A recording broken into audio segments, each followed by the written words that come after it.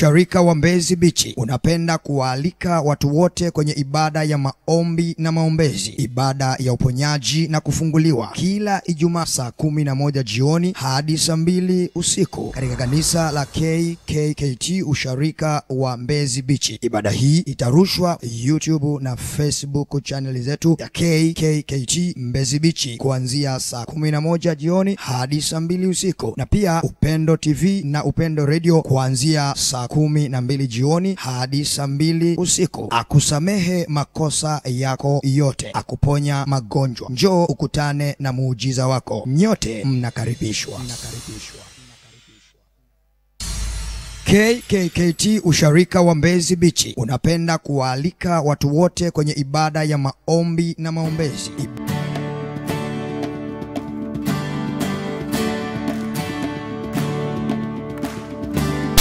The senior pastor of ELCT Mbezi Beach Parish, Pastor Allen Adam Biso, would like to welcome you to the English service every Sunday from 2 p.m. to 3 p.m.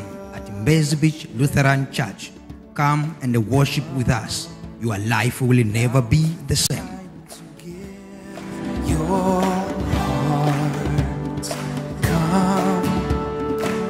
as you are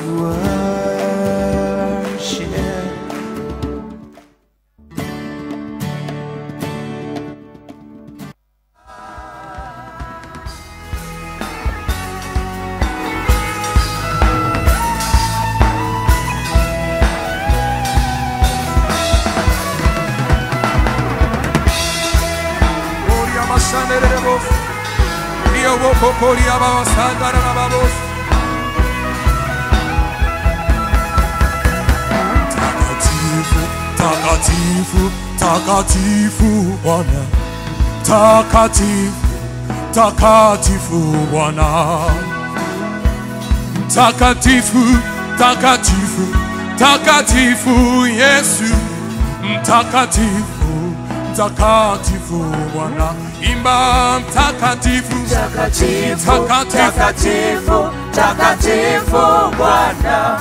Yeah. Takatifu, Takatifu. takatifu Bwana. Yesu wewe ni mtakatifu. Mtakatifu, mtakatifu takatifu peke yako. Mtakatifu takatifu takatifu Bwana.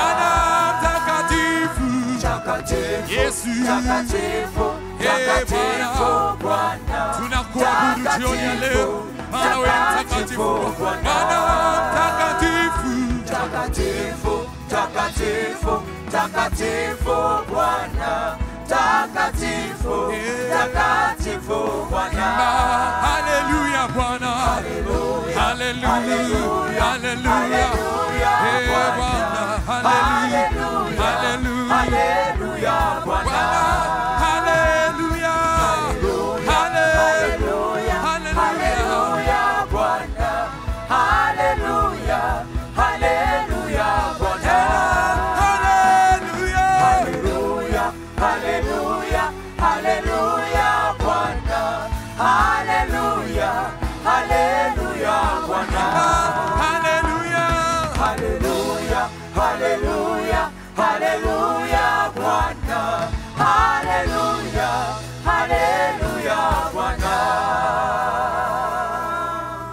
mikono yako juu. Tunakwenda kuomba Mungu, tunakwenda kuomba kibali mbele za Mungu. Inawezekana mwaka huu ulikataliwa katika maofisi mbalimbali, inawezekana kulikuwa na roho ya kukataliwa imekuandama sana. Sasa tunakwenda kuomba kibali mbele za Mungu kwa mwaka elfu mbili na ishirini. Mungu aachilie kibali juu yako ili Mungu akuvushe katika sehemu mbalimbali. Ni ombi la muhimu sana, ni ombi la muhimu sana. Natamani kila mmoja aende mbele za Mungu, omba, mwambie Mungu, ninaomba kibali, ninakataa roho za kukataliwa, ninavunja. Hata kama ulitoka nazo kwenye tumbo la uzazi, ipo nguvu ya damu ya Yesu inayokwenda kuondoa. Fungua kinywa chako hapo ulipoomba kwa ajili ya hiyo kibali mbele za Mungu. Mwambie Mungu, ninaomba kibali mbele za uso wako. Mwambie Mungu, ninaomba kibali mbele za watu wako walioko nchi ya Tanzania, hata walioko nje ya nchi. Ninaomba kibali kwa viongozi wa nchi. Baba, katika jina la Yesu Kristo Mnazareti, ninakushukuru e Mungu uliye hai Wewe ni Mungu mwenye neema na rehema. Wewe ni Mungu mwenye nguvu, ni Mungu usiyeshindwa kitu. Wewe ni Mungu unayetupenda upeo, katika jina la Yesu na kwa damu ya Yesu. Saa hii na wakati huu tunakuja mbele za uso wako, e Bwana. Ninajua kabisa inawezekana wapo watu wawili au mmoja, e Bwana, mwaka huu kuna roho ya kukataliwa ilimwandama, na Mungu kuachilia huu ujumbe, haujafanya makosa. Damu yako ya agano jipya ipite kwenye huo moyo wa huyo mtu, damu yako ipite, e Bwana, ikafute kila matamko mabaya aliyotamkiwa. Inawezekana alitamkiwa akiwa tumboni, alikataliwa na wazazi wake. Inawezekana alikataliwa na baba au na mama. E Mungu ni hai, unayejua yaliyo sirini, Tamu yako ipite sasa, tamu yako ipite sasa, tamu yako ipite sasa. Kwenye huo moyo, ikafute hilo tamko. Lililotamkwa na huyo baba, lililotamkwa na shangazi, lililotamkwa na mama yake, lililotamkwa na babu na bibi, ya kwamba huyu mtoto hatumtaki, ya kwamba huyu mjukuu hatumtaki. Damu ya Yesu inaenda inafuta hilo tamko, inafuta hilo neno karamashaka, kwa damu ya Yesu, kwa damu ya Yesu. E Mungu uliye hai, tunasogea mbele za uso wako e Bwana, wote tuliyekuja mahali hapa, hata wale wanaifuatilia kwa njia ya mtandao. E Mungu, leo hii e Bwana, tunaomba kibali mbele za uso wako kwa ajili ya kuvuka mwaka elfu mbili na ishirini. Tunaomba kibali e Bwana, mwaka huu hata kama tulikataliwa, oh, tunajikung'uta hiyo roho ya kukataliwa, tunajivua hilo vazi la kukataliwa, tunajivua hiyo roho ituachie. Karamaka seke. Rima rikokoroboshika. Endelea kuomba. Rapoko seketerema ripakashandalama rapokoriasika. Mungu anakuangalia wewe, Mungu anaponya wenye haja ya kuponywa, Mungu anaachilia kibali kwa wenye haja ya kibali. Rapokosika. Kwa hiyo ukikaa kimya, Mungu anajua kabisa huna kiu, huna haja. Fungua kinywa chako, mwambie Mungu, ninaomba kibali, ninaomba kibali cha kuingia mwaka elfu mbili na ishirini.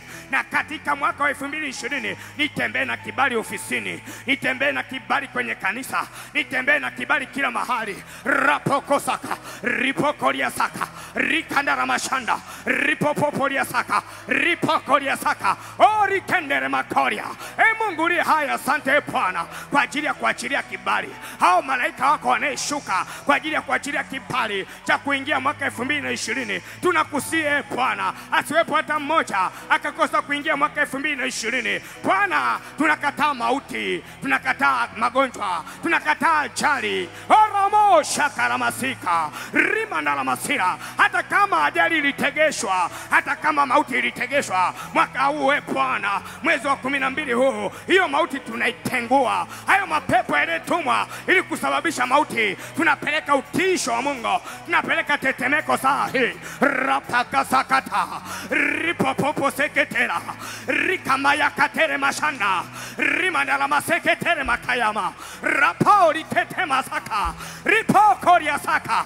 Hata kama walichimba kaburi damu ya Yesu inafukia hilo kaburi. Hata kama walitega mitego, leo hii tunategua. Hata kama walitamani ikikabili- ikibakia dakika moja ya kuingia mwaka elfu mbili na ishirini wakamate nafsi ya mtu, hawatakamata, hawatakamata, hawatakamata. ripoko sakata. Repeke seketera rikamaya katerema rimo ropoko seketerema yanda oh, rapoko sekete. Baba, achilia kibali, achilia kibali, achilia kibali. Tunaomba kibali e Bwana, e Mungu wa mbingu na nchi, nyota zetu zipate kung'aa, nyota zetu zipate kung'aa. Tukubalike e Bwana na mabosi, tukubalike e Bwana kwenye taifa la Tanzania, hata nje ya nchi. Baba, achilia kibali e Bwana, rapoko sokoriama ripoko seketerema rapoko seketera ripoko seketera o rimo seketerema o, watu wanapokea kibali, watu wanapokea kibali kwa Mungu aliye hai, kwa Mungu aliye hai. Esta alisema ya kwamba e Bwana, ninaomba kibali, ninaomba kibali, na akapata kibali.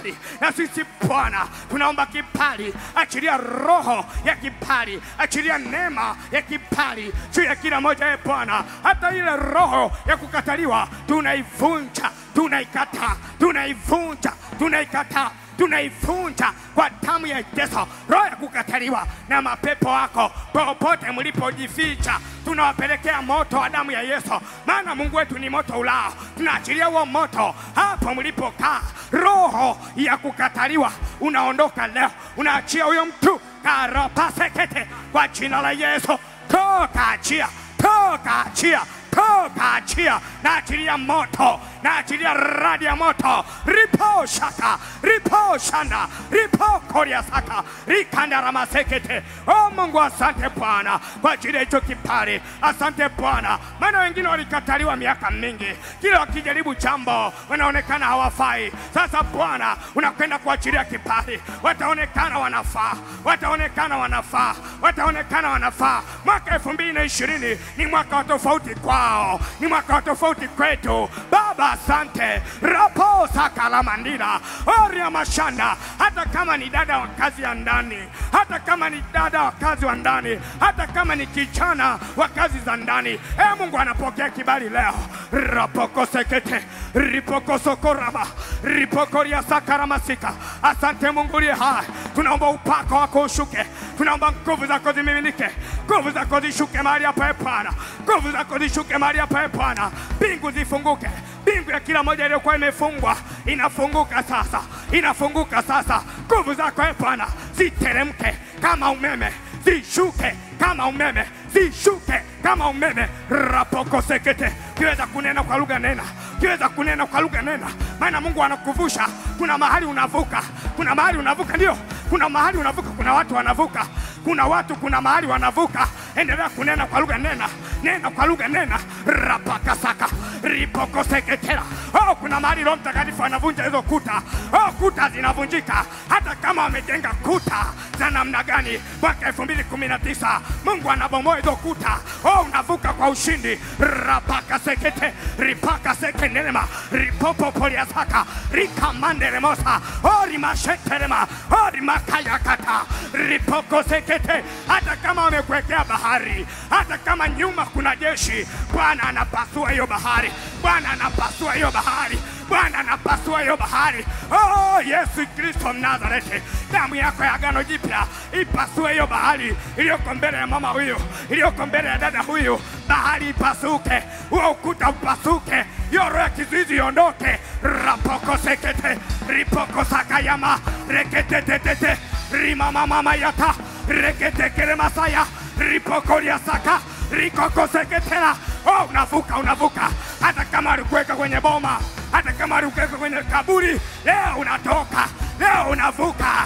rapoko seke rikama rikama yekenderemosekete rikamakoriasaka oh, diamoyeketerema ripopo ripopo ripopo ripopo rakasaka. Omba kwa faida yako, omba kwa faida yako, omba kwa faida yako, omba, endelea, endelea, endelea kuomba, endelea kuomba. Nguvu za Mungu zimetufunika, fungua kinywa tu. Nguvu za Mungu zimetufunika, ndio rapapapa. Roho neema na maombi iwe juu yako, roho neema na maombi iwe juu yako, hata kama hujawahi kunena kwa lugha. Roho Mtakatifu akushukie, Roho Mtakatifu akushukie, ndio. Pokea. Ripasakaramamamayata pokea. Rikokosekete rikasakata.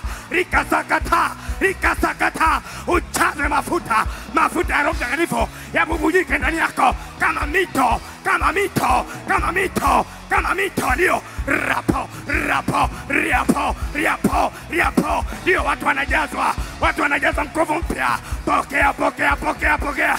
Rika ya mama mama mama. Rika ndorobobobobobo rika ropopopopo pokea, pokea nguvu mpya, nguvu za Roho Mtakatifu zichae kama simba, kama simba akiunguruma, rikarapapapa rapapapa, rika daramasekete, ujazwe, ujazwe, ujazwe, ujazwe, ujazwe, ujazwe, arama shandarama. Nyosha mikono yako dakika mbili. Yes, asante Roho Mtakatifu. Rika shaka kamushete rima saka ramusikiria masaka rima ndoro moshekere mokoria. Nguvu za Mungu ziwe juu yako sasa. Yes, nguvu za Mungu ziwe juu yako sasa. Nguvu za Mungu ziwe juu yako sasa. Nguvu za Mungu ziwe juu yako sasa. Pokea hizo nguvu za Mungu, pokea hizo nguvu za Mungu, pokea hizo nguvu za Mungu. zikuvushe mwaka elfu mbili na ishirini utembee kwa ushindi, hofu iondoke, oh, magonjwa yaondoke, udhaifu uondoke, hautakuwa kama jinsi ulivyo. Pokea ushindi wa Bwana. rika mandala rekema sheketa rika ya mando. Hata kama walikuonea, Bwana anakuvusha kwa ushini kwa nguvu mpya, anakuvika nguvu mpya.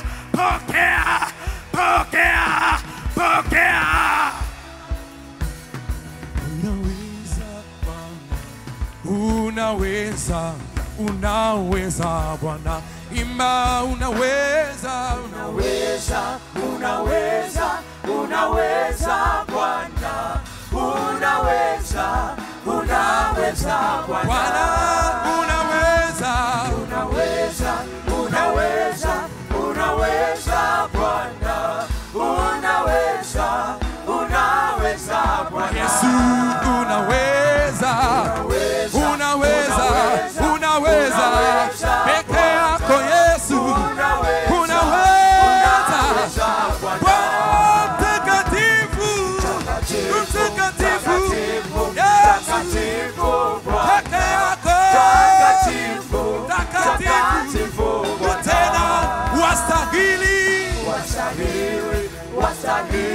wastahili, Wastahili. heshima na utukufu. Wastahili Bwana Yesu, wastahili, Wastahili, wastahili, peke yako, wastahili, wastahili, wastahili oh, wastahili,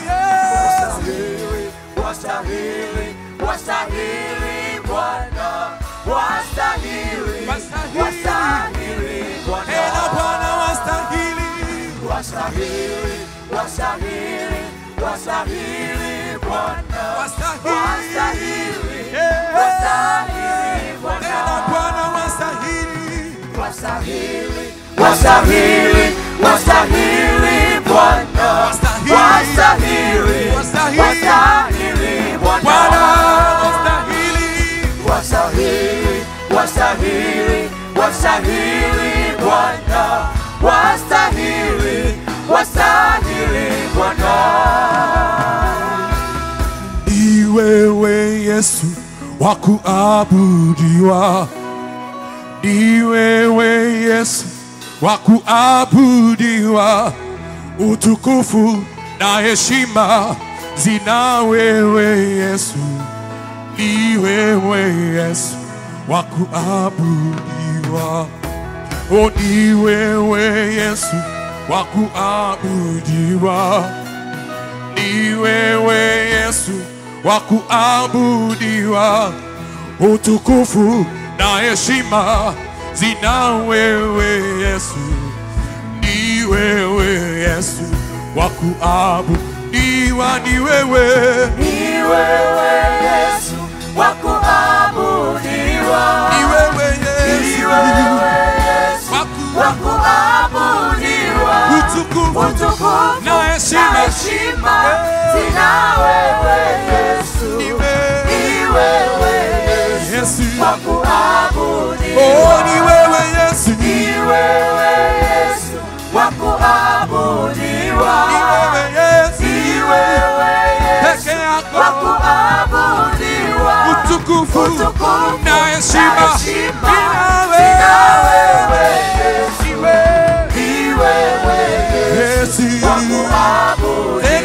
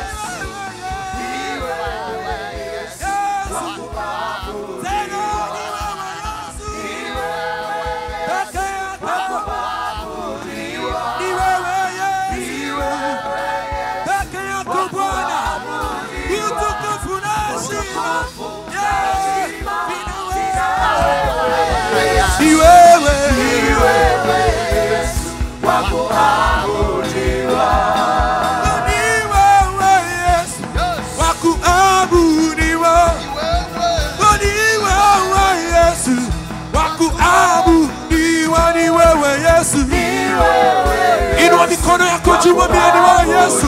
Peke yako ni wewe Bwana. Ni wewe Yesu wa kuabudiwa. Milele tunakuabudu mfalme ni wewe. Hakuna aliye kama wewe. Hakuna mwingine wa kuabudiwa kama wewe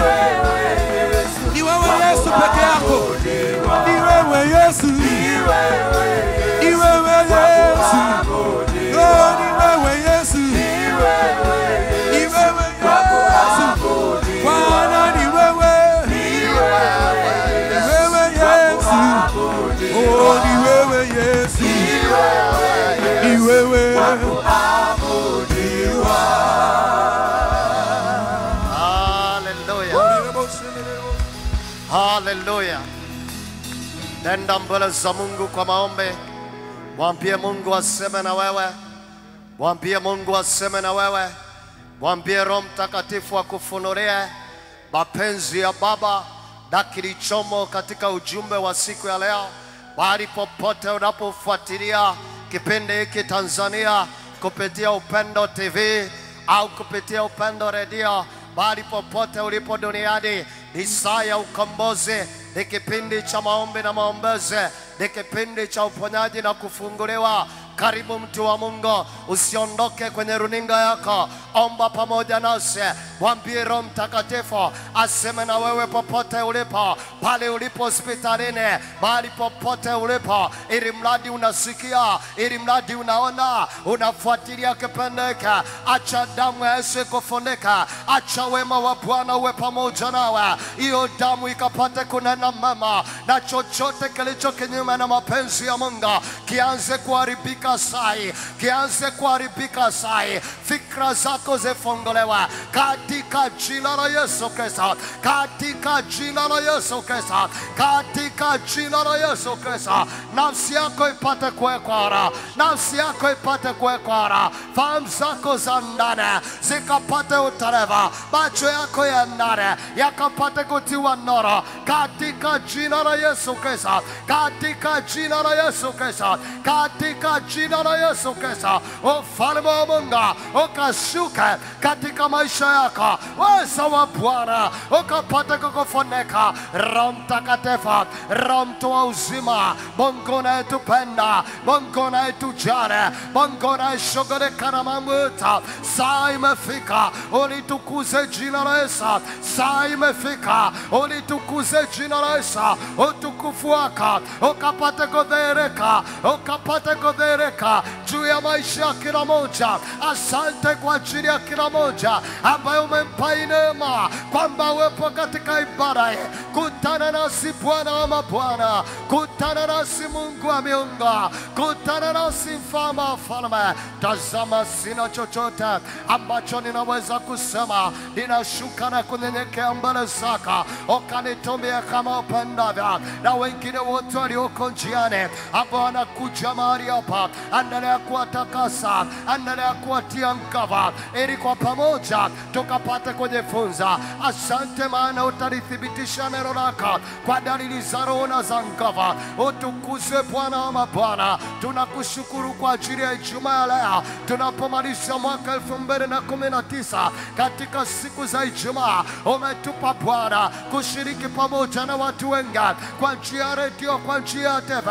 Tumeuona mkono wako ukiwa pamoja nasi tunapoanza kipindi cha leo. Tunaona vyema kukutukuza, tunaona vyema kukushukuru, tunaona vyema kukuinua, maana wewe ndiye Mungu uyatendaye mambo yote. Heshima na nguvu na uweza ni vyako Bwana, utukuzwe katika anga na uweza wako. Kwa jina la Yesu tumeomba tukiamini, amen. Shangilia Mungu aliye hai. Haleluya, haleluya. Naomba uketi, naomba uketi, mtu wa Mungu. Nashukuru sana praise team. Mungu awabariki kwa huduma yenu. Bwana Yesu asifiwe. Haleluya. Ninawasalimu katika jina la Bwana. Ninamshukuru Mungu ambaye amenipa neema niweze kushirikiana nanyi siku ya leo katika ibada hii ya maombi na maombezi, ibada ya kufunguliwa. Na leo tunafahamu ya kwamba ni Ijumaa ya mwisho kwa mwaka huu, na ni wiki kadhaa tumekuwa live kwenye Upendo TV na Upendo Radio. Tunawashukuru sana wenzetu wa Upendo Media kwa kuanza kufanya hii huduma pamoja nasi, na watu wengi tumepata salamu na maoni mbalimbali ambao wamekuwa wakifuatilia uh, kipindi hiki. Ninaendelea kukualika mtu wa Mungu, tutaendelea kuwa live mwaka mzima unaofuata.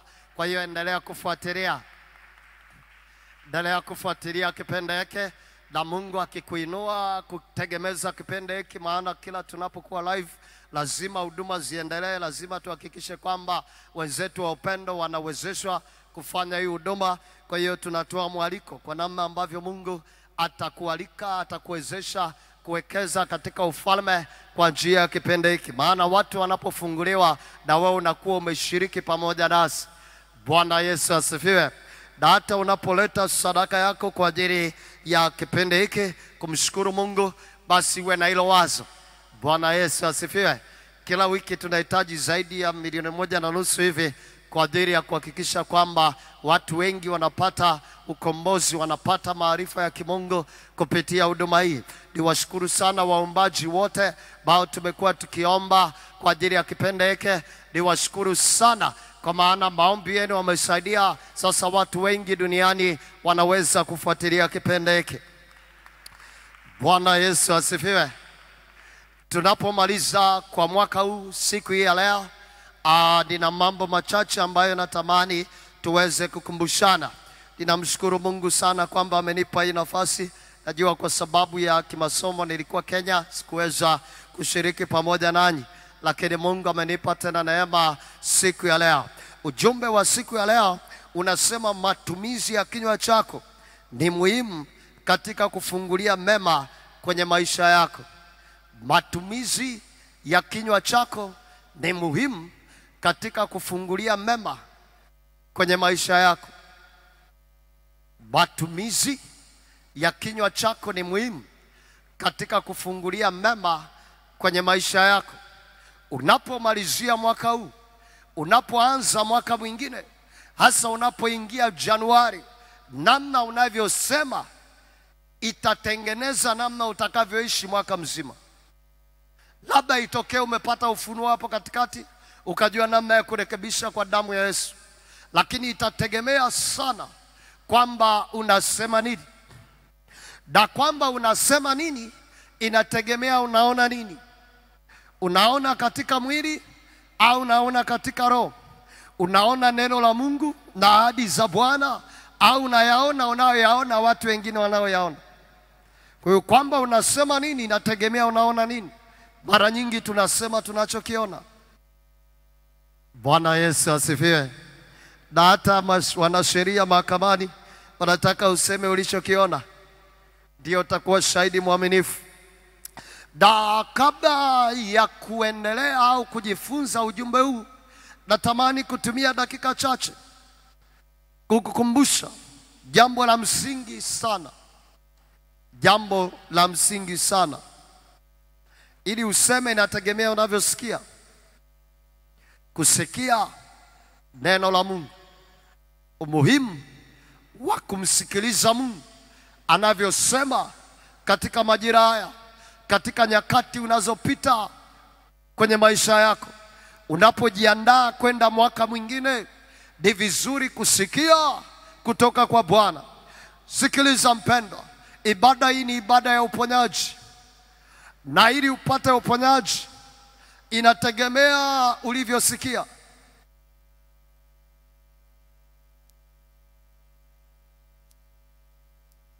Fungua Biblia yako kitabu cha Luka Mtakatifu sura ile ya tano.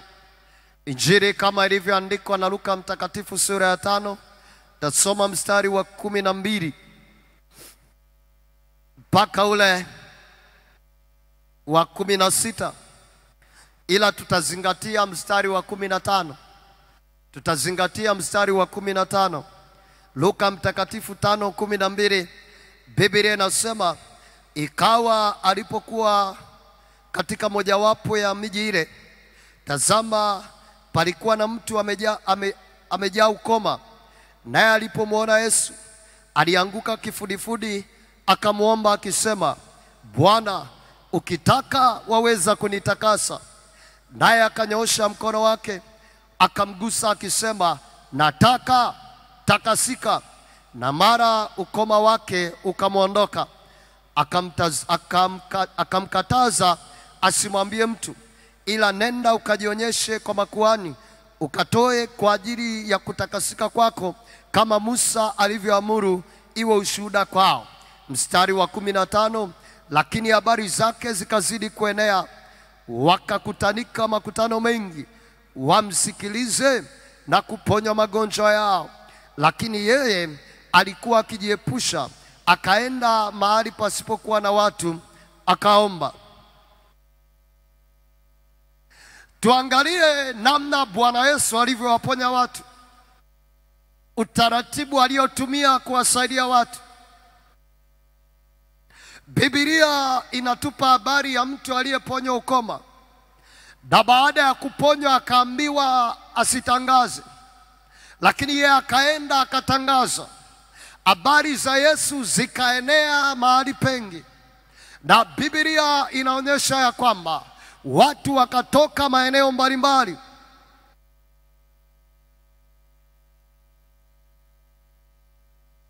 wakaenda kwa Bwana Yesu. Kusanyiko kubwa Biblia inaeleza walienda wamsikie na kuponya magonjwa yao. Walienda kwa Bwana Yesu ili wamsikie na kuponya magonjwa yao. Na sisi tumekuja mahali hapa tusikie habari za Yesu, tupokee uponyaji.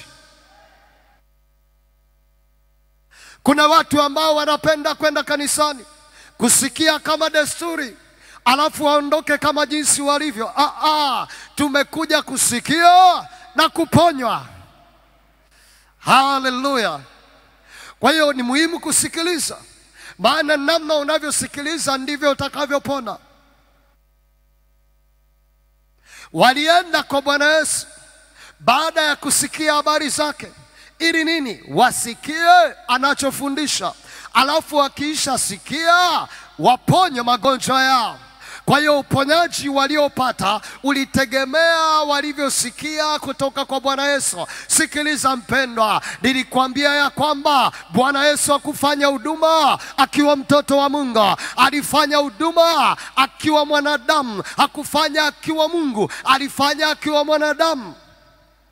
Aliacha utukufu alikuwa ni Mungu kweli alipokuwa katika mwili, lakini kwa habari ya kutenda mapenzi ya baba yake alitegemea Roho Mtakatifu, na ndio maana kufanya miujiza yote. Alipolelewa pale Nazareti, alikaa miaka thelathini, akawa kijana wa kawaida akifanya kazi pamoja na baba yake za useremara. Japo alikuwa wa tofauti, kuna mambo ambayo alifanya, lakini alikuwa miongoni mwao, hawakuwa na shida naye mpaka alipopakwa mafuta, aliposema Roho wa Bwana yu juu yanga, maana amenipaka mafuta.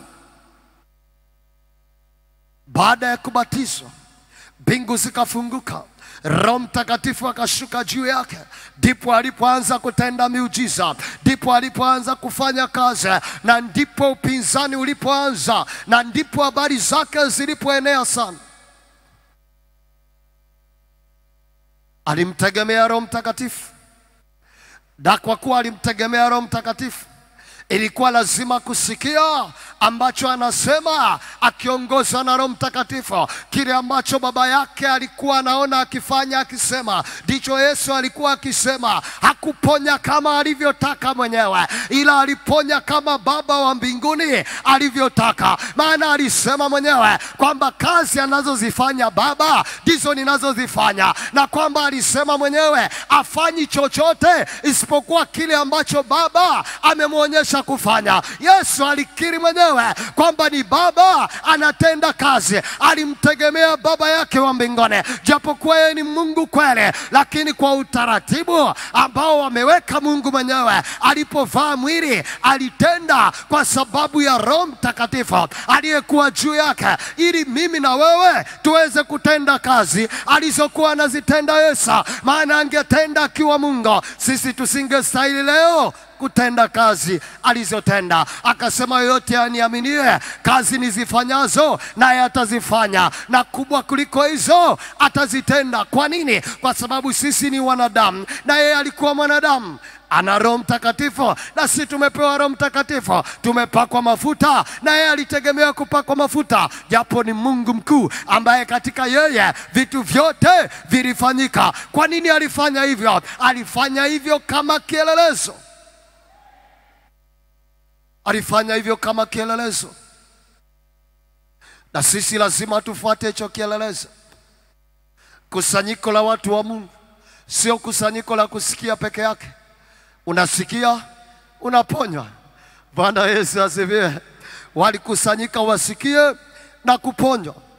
Ukiendelea mbele, ile sura ya sita mstari wa kumi na saba Injili ya Luka, Luka sura ya sita mstari wa kumi na saba Biblia inasema akashuka pamoja nao, akasimama mahali penye uwanja tambarare.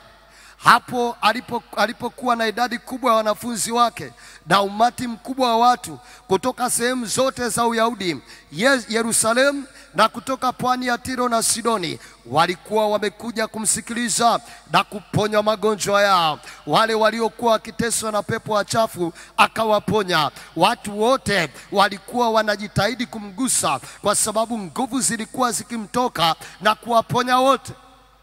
Biblia inasema alienda tena akashuka mahali tambarare. Hapa katikati kuna mambo mengi yalifanyika, sina muda ya kueleza, lakini akaanza kufundisha na kuponya. Hakuponya kabla ya kufundisha na kuhubiri. Watu wanafikiri tu aliponya, tumekutana na mtu, pokea uponyaji, nenda. Ah, ah. Hakufanya hivyo. Alifundisha kwanza, akahubiri, na wale waliosikia akawaponya. Biblia inasema walienda kusikiliza na kuponywa magonjwa yao. Leo kuna watu hawapokei uponyaji kwa sababu hawataki kusikiliza. Unataka msaada wa kimungu kifedha, lazima usikilize Yesu anasema nini kwa habari ya fedha. Biblia inasema nini kwa habari ya fedha, kama ambavyo katika hali ya kawaida ya kidunia ili ustahili kuweza kutunza mambo ya fedha, watataka uende chuoni ukafundishwe kanuni za mambo ya fedha. Wakiona umestahili, ndipo wakupe mamlaka ya kutunza mambo ya fedha, hata za watu wengine. Sasa ukitaka msaada wa kimungu kwa habari ya fedha, lazima usikie neno la Mungu linasema nini kwa habari ya fedha. Kama Mungu amekupa karama yoyote, kama Mungu amekuweka kuwa nabii au ndani yako kuna karama ya unabii au ndani yako wewe ni nabii, lazima usikie neno la Mungu linasema nini kuhusiana na unabii. Kwa kadiri unavyosikia ndivyo hicho kipawa kitakavyotumika. Kinaweza kikaanza tu kama ishara lakini Roho Mtakatifu anataka uwe karibu, uendelee kujifunza na kujifunza na kujifunza. Kwa kadiri unavyosikia ndivyo ambavyo hiyo karama itatumika. Unataka upako? Sikiliza neno la Mungu linasema nini kuhusu upako. Lazima usikie kwanza, ndipo utapokea upako. Haleluya! Leo tuna watu wanataka kuombewa, hawataki kusikia yeye anasubiri saa ya maombi tu, saa ya neno anatoka nje.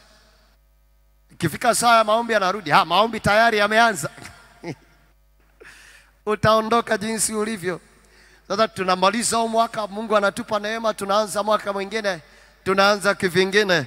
Hatutaki kukosea. Bwana Yesu asifiwe. Atukubali atupite, tunataka kuwa pamoja naye. Mfano mwingine Mathayo 14 34 mpaka 36. Mathayo 14 34 mpaka 36. Walipokwisha kuvuka wakafika nchi ya Genezareti. Watu wa eneo lile walipomtambua Yesu, walipeleka habari sehemu zote za jirani.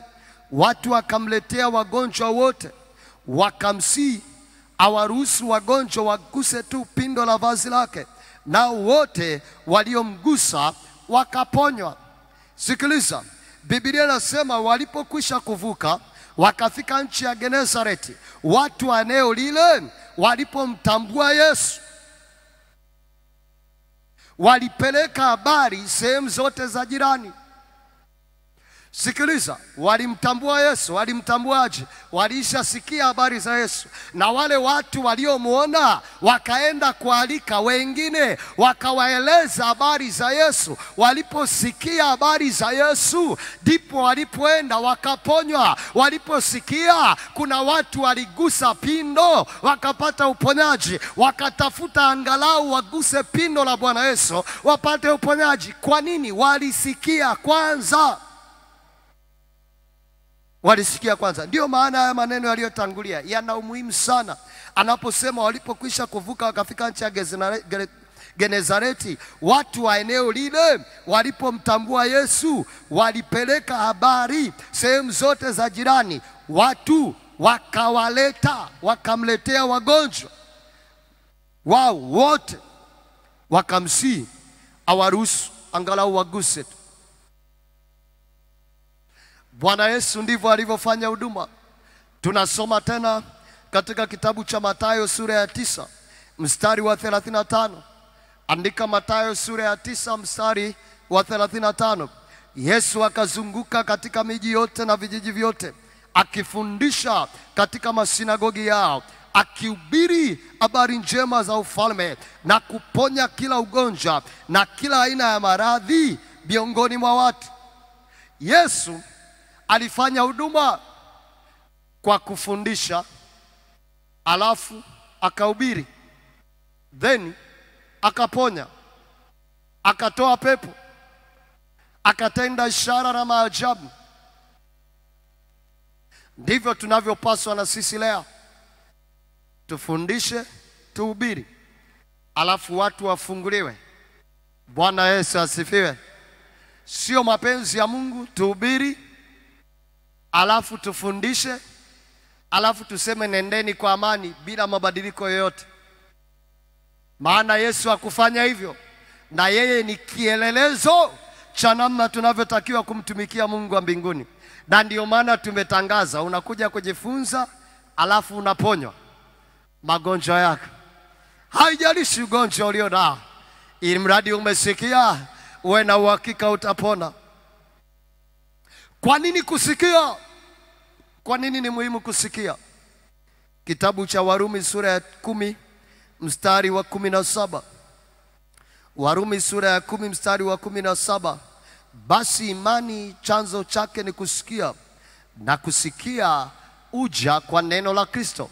Imani chanzo chake ni kusikia, na kusikia uja kwa neno la Kristo. Unaposikia kule kusikia kwako kunatengeneza uhakika, kunatengeneza imani, na ile imani inasababisha nguvu za Mungu kudhihirika. Unatengeneza mkono wa kupokelea uponyaji. Kama hauna huo mkono wa kupokea uponyaji ambao ni imani, hauwezi ukapokea. Imani huja kwa kusikia, na kusikia huja kwa neno la Kristo. Kwa hiyo badala ya kuogopa, sikia Yesu anasema nini. Hata kama kuna mambo yamekutisha, hata kama una magonjwa yamekusumbua, unapotaka kutoka hatua ya kwanza, sikiliza neno la Mungu linasema nini. Sikia neno la Mungu linasema nini. Sikiliza na kusikiliza na kusikiliza, soma na kusoma na kusoma, na ndio maana Biblia tunasoma kila wakati.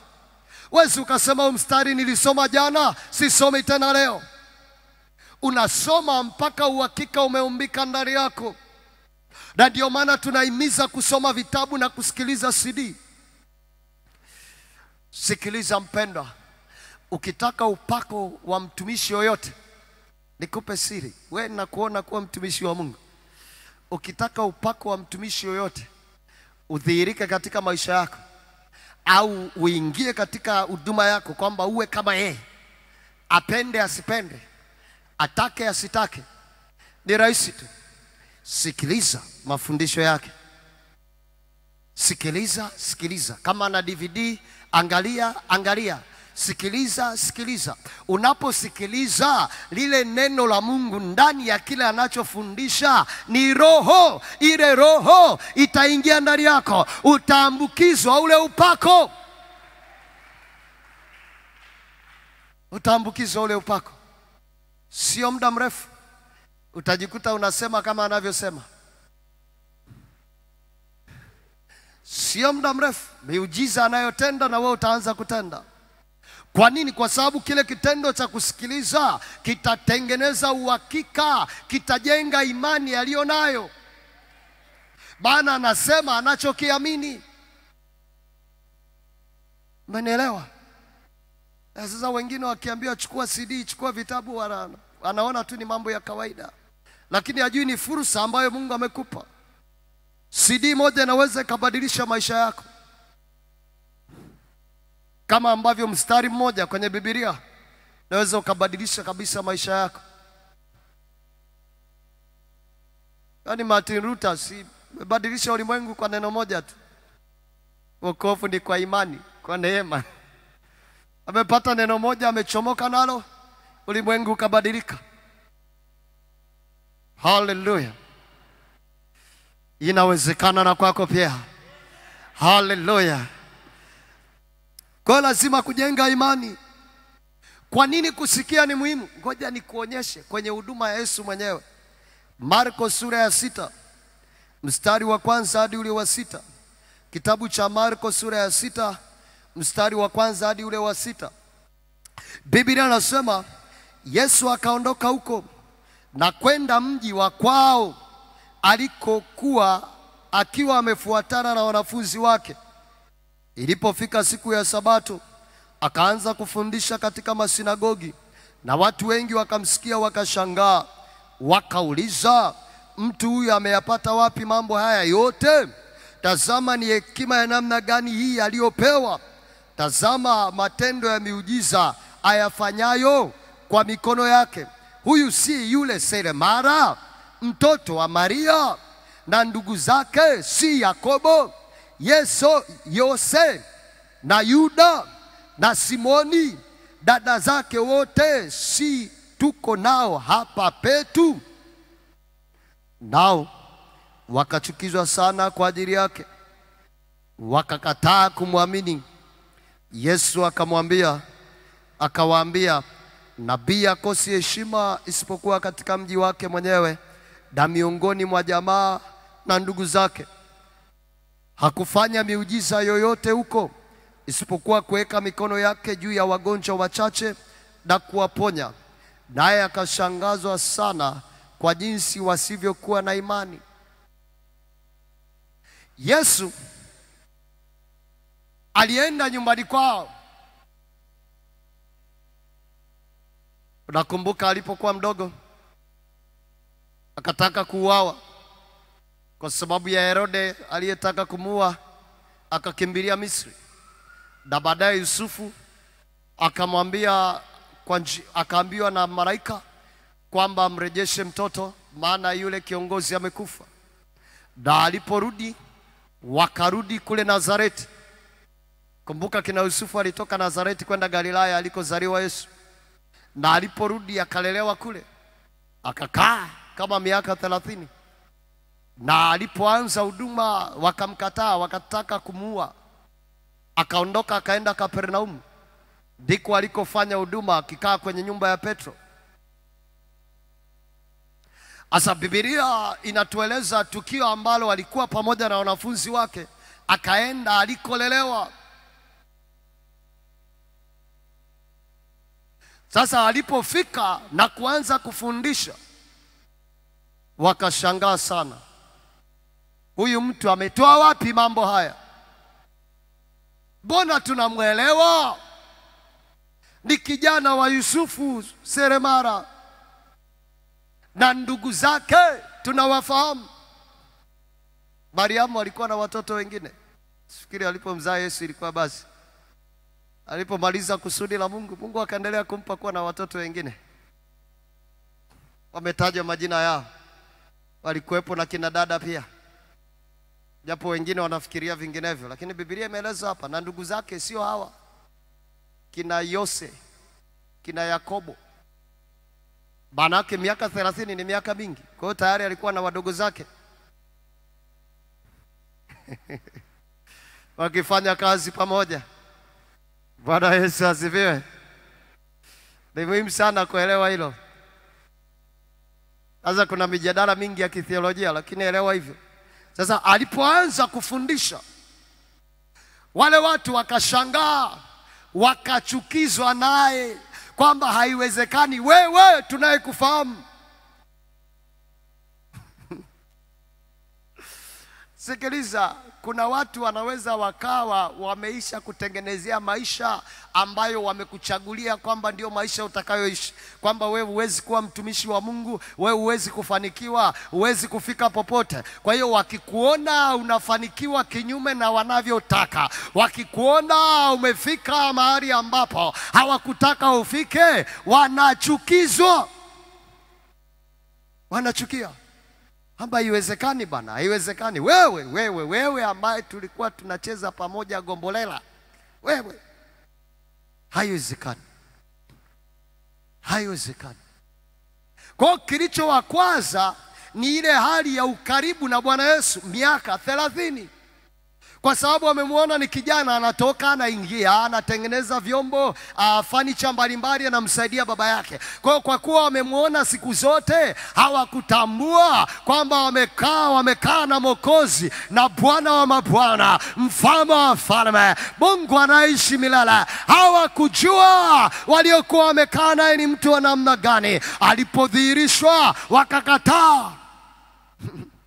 Yawezekana nyumba yako hawajui wewe ni mtu wa namna gani bado haijajulikana wewe ni mtu wa namna gani, lakini saa inakuja watu watakapojua kwamba wewe ni mtu wa namna gani, utakaposikia neno la Bwana, utakaposikia Mungu anavyosema juu ya maisha yako, namna alivyokuumba, namna alivyokuita, nafasi aliyokupa, huduma alizokupa, karama alizokupa, utakaposikia ndipo itakapojulikana kwamba wewe ni mtu wa namna gani. Kuna kitu nataka ujifunze, kuna kitu nataka ujifunze mpendwa. Walipokasirika wakakataa kumwamini, wengine wanasikia lakini hawataki kuamini, wanachagua kutokuamini wanafuatisha namna za dunia hii, kwamba nje ya namna za dunia hii hawawezi kuamini. Amini neno la Mungu. Biblia inasema msifuatishe namna ya dunia hii. Haina maana habari ya dhambi ambazo watu wanataja, mambo ya dunia, nasa mbalimbali. Anaposema msifuatishe namna ya dunia hii, maana yake wekeni uhakika katika neno la Mungu. Usifuate dunia inavyosema, fuata neno la Mungu linavyosema, hata kama kibinadamu binadamu haiwezekani, kwa kuwa neno la Mungu limesema, kwa kuwa katika maandiko ni mapenzi ya Mungu. Uwe na uhakika itakuwa kama neno la Mungu lilivyosema. Oh, haijalishi hata kama kibinadamu, hata kama kwa kawaida za dunia hii hilo jambo halipo, usifuatishe kawaida za dunia hii, fuatisha neno la Mungu linavyosema kama neno la Mungu linasema kwa kupigwa kwake tumeponywa, amini kwamba umepona. Hata kama wanasema madaktari kwamba ugonjwa wako hauna dawa, utaishi hivyo hivyo miaka yako yote.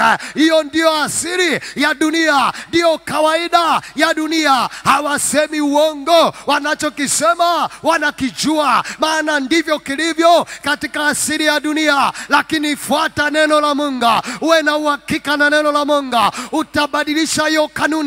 Hauwezi ukabadilisha kwa namna ya kawaida, huwezi ukabadilisha, maana ni ukweli, ni nature, ni nature. Walivyokuambia ndivyo ilivyo. Kama wamekuambia ukimwi hauna dawa, kweli hauna dawa, ila mpaka umeamini kwa kupigwa kwake tumepona, unaweza ukapona ukimwi. Haleluya! Hakuna namna nyingine, hakuna namna nyingine. Hao wakakataa, wakakataa. Angalia, nalisikitisha sana walipokataa na kumbeza kwamba wewe ni mwana wa seremara, umetoka familia ambayo sio familia tajiri, familia ambayo ni ya kawaida. Utatuambia nini wewe? Utatuambia nini wewe?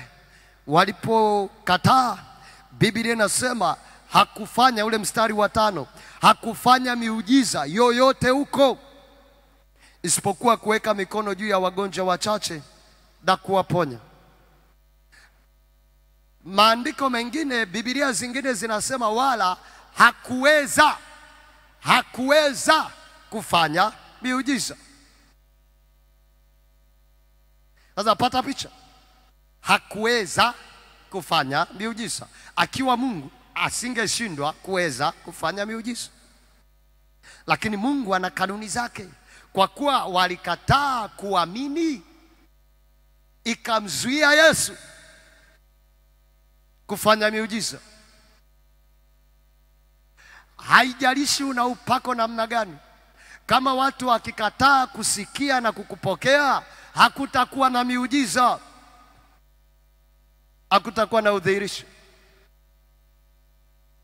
Sasa shida sio mtumishi, kwa sababu ilikuwa hivyo kwa Yesu, haiwezi kawa tofauti kwako. Kama walipokataa kumwamini Yesu hakuweza kufanya miujiza, wakikataa kukuamini itafanyikaje? Haiwezekani. Maana yake unataka kuwa zaidi ya Yesu. Sasa nataka uone namna ambavyo kusikia ni muhimu.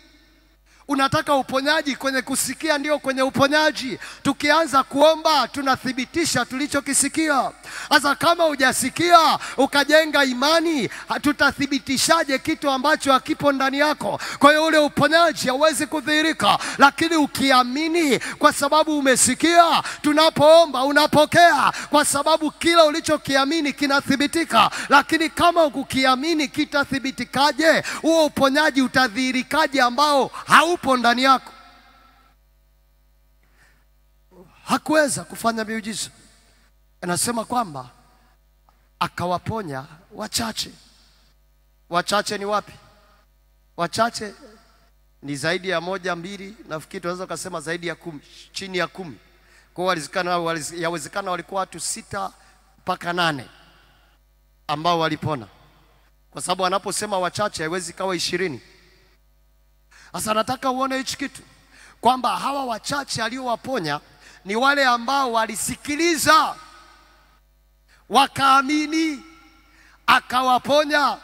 Alipoona hawaamini, akaamua kuondoka zake.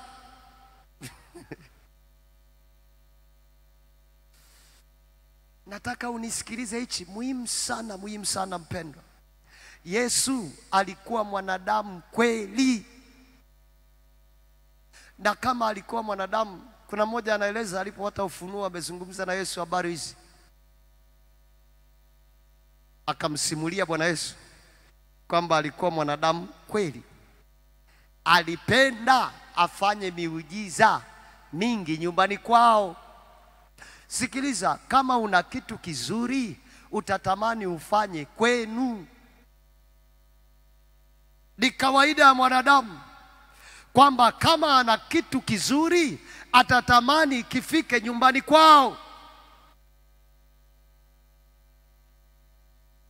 Kwa hiyo tunaweza kufikiri na kusema kwamba Yesu alitamani kufanya miujiza Nazareti, na ndio maana anasema hakuweza, maana yake alitaka, lakini hakufanyaje?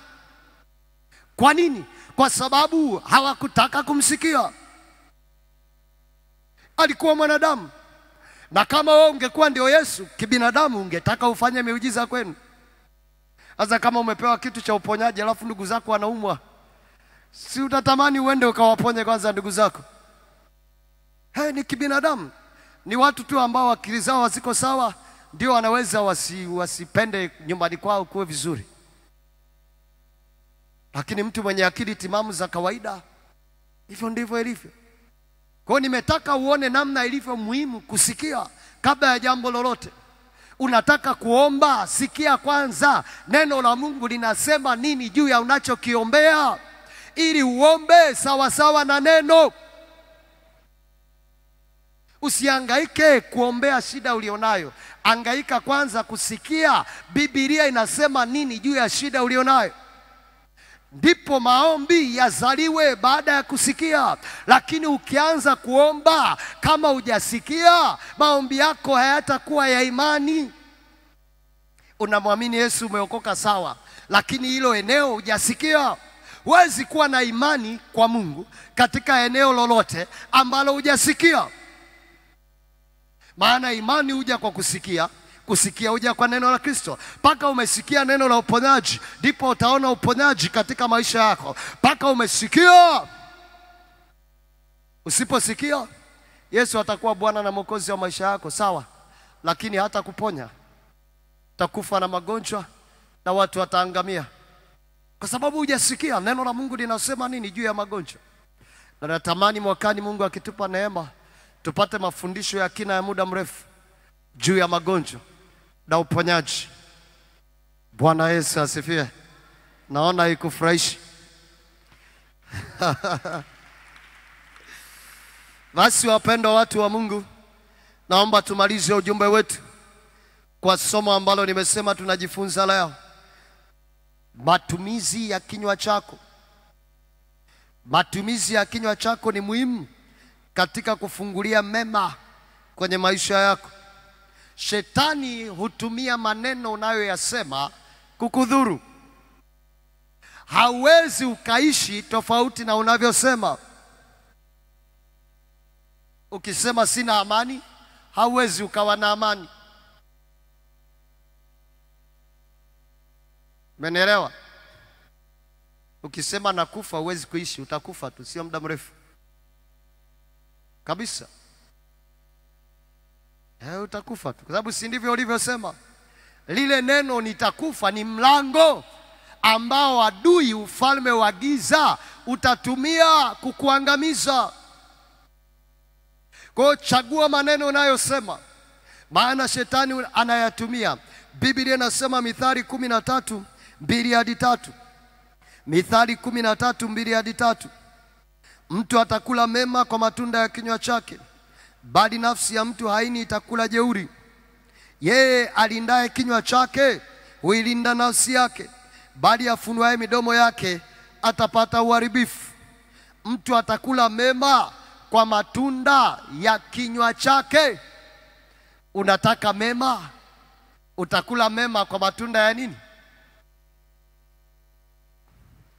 Sema, mtu akitaka kuona siku njema auzuie ulimi wake usinene mambo mabaya, aitafute amani, aitafute sana. Unataka mema mwaka elfu mbili na ishirini, nena mema juu ya maisha yako. Unataka ndoa njema, nena mema juu ya ndoa yako, maana utakula matunda ya kinywa chako. Kile unachokisema kitazidishwa katika ulimwengu wa roho, alafu kitarudishwa kwako. aza utashangaa sana, atakula mema kwa matunda ya kinywa. Matunda ya kinywa ni nini? Maneno. Ukilinda kinywa chako, umelinda maisha yako. Mithali kumi na mbili kumi na tatu hadi kumi na nne tumesoma kumi na tatu mbili hadi tatu kumi na mbili kumi na tatu hadi kumi na nne Katika kosa la midomo kuna mtego wa, mabaya, mbaya, bali mwenye haki atatoka katika taabu. Mtu atashiba mema kwa matunda ya kinywa chake, na atarudishiwa matendo ya mikono yako. Utakachokitenda utarudishiwa. Unataka kushiba mema, yazungumze kwanza. Yaani ni hivi, hautashiba mema usiyoyatamka.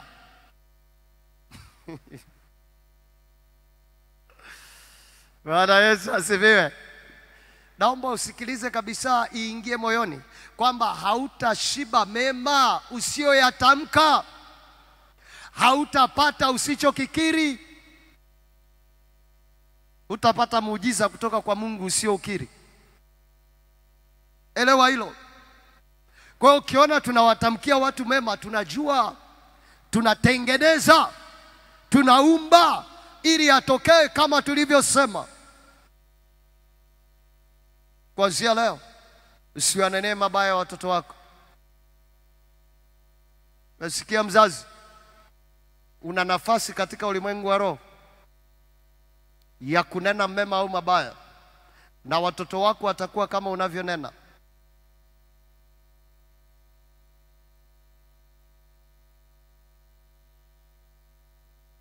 Na kama umenena, tulianza maombi hapa. Nashukuru mtumishi wa Mungu, hata hatukuwasiliana, ushughulikia maneno kibali. Haleluya! Ukisema uongo hautathibitika mbele za Mungu. Zaburi ya mia na moja mstari wa saba Biblia inasema hata kaa ndani ya nyumba yangu mtu atendaye ila asemaye uongo hatathibitika machoni pangu. Mithali kumi na saba mstari wa nne Zaburi ya mia moja na saba mistari kumi na saba mstari wa nne Natamani uone ili mtu wa Mungu popote unaposikiliza, anasema mtenda mabaya usikiliza midomo ya uovu, na mwongo utega sikio lake kusikiliza ulimi wa madhara. Mtu anayetenda mabaya ameyasikia kwanza, ndipo akayatenda. Unataka usitende mabaya, jifunze kuto kusikiliza mabaya. Haujaumbwa usikilize kila kitu. Kwa hiyo hata kitu cha kusikia lazima ukipange, uweke msimamo wa maisha kwamba sitasikiliza mabaya,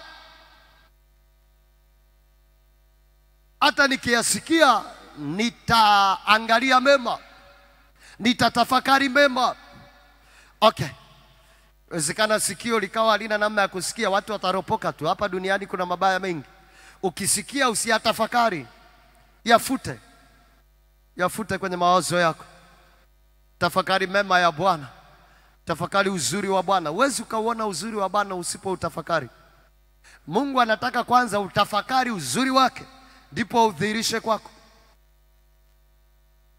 Utafikiri Mungu ana upendeleo? Ah, wewe fuata kanuni ya maandiko, tafakari uzuri wa Bwana, alafu utashangaa. Sasa wewe unasoma Zaburi ya ishirini na tatu unatafakari, hakika wema na fadhili zitanifuata siku zote za maisha yangu.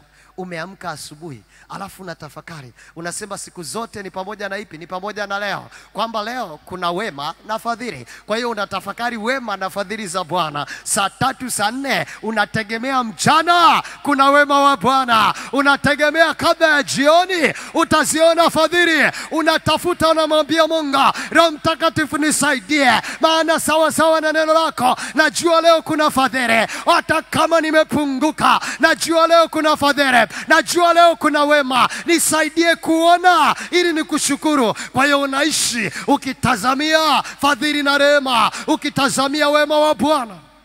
Mtu wa namna hiyo atauona wema wa Bwana. Mungu atamwacha afike jioni bila kuwa na ushuhuda, atamwacha afike jioni bila kuona wema wa Bwana. Lakini kama unatazamia mabaya, unafikiri mabaya, uwe na uhakika uwezi ukaona wema wa Bwana. Ni muhimu sana. Sasa ukitafakari, utasema unachokitafakari hata kama ukiamua kungangamala usiseme, wakikugusa utasema tu. E, mtu akiguswa vizuri akibano anasema kilichoko moyoni. Haleluya! Sasa ngoja niseme mambo machache, tuingie kwenye maombi. Jambo la kwanza kuhusiana na maneno. Maneno ni silaha inayoweza kuharibu maisha yako. Adui hutumia maneno kukushambulia. Maneno ni silaha inayoweza kuharibu maisha yako. Adui hutumia maneno kukushambulia.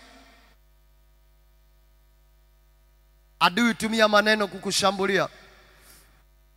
Zaburi ya kumi na mbili mstari wa nne andika na Zaburi ya sitini na nne mstari wa tatu hadi wa nne Zaburi ya kumi na mbili mstari wa nne. Biblia inasema waliosema kwa ndimi zetu tutashinda, midomo yetu ni, wetu, ni yetu wenyewe, ni nani aliye juu yetu? Waliosema kwa ndimi zetu tutashinda, midomo yetu ni yetu wenyewe, ni nani aliye juu yetu?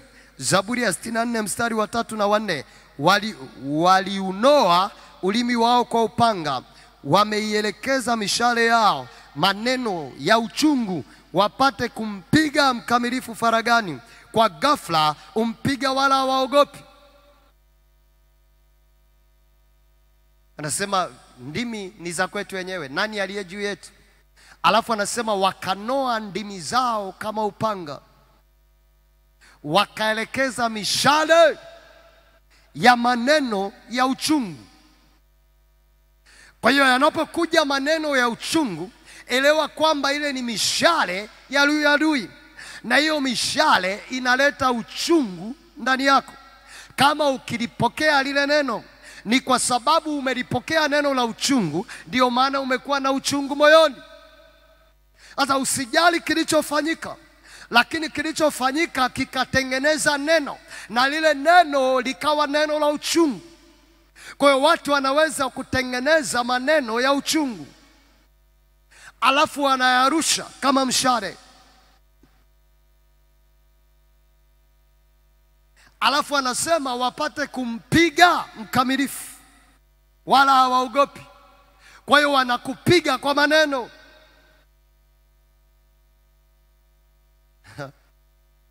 Bora wakupige kwa mikono, maana baadaye si maumivu yataisha, kwa kuwa yamekaa kwenye mishipa. Lakini anayekupiga kwa maneno, maumivu yanakaa moyoni. Sasa pata picha, tiba ya moyo, nafsi.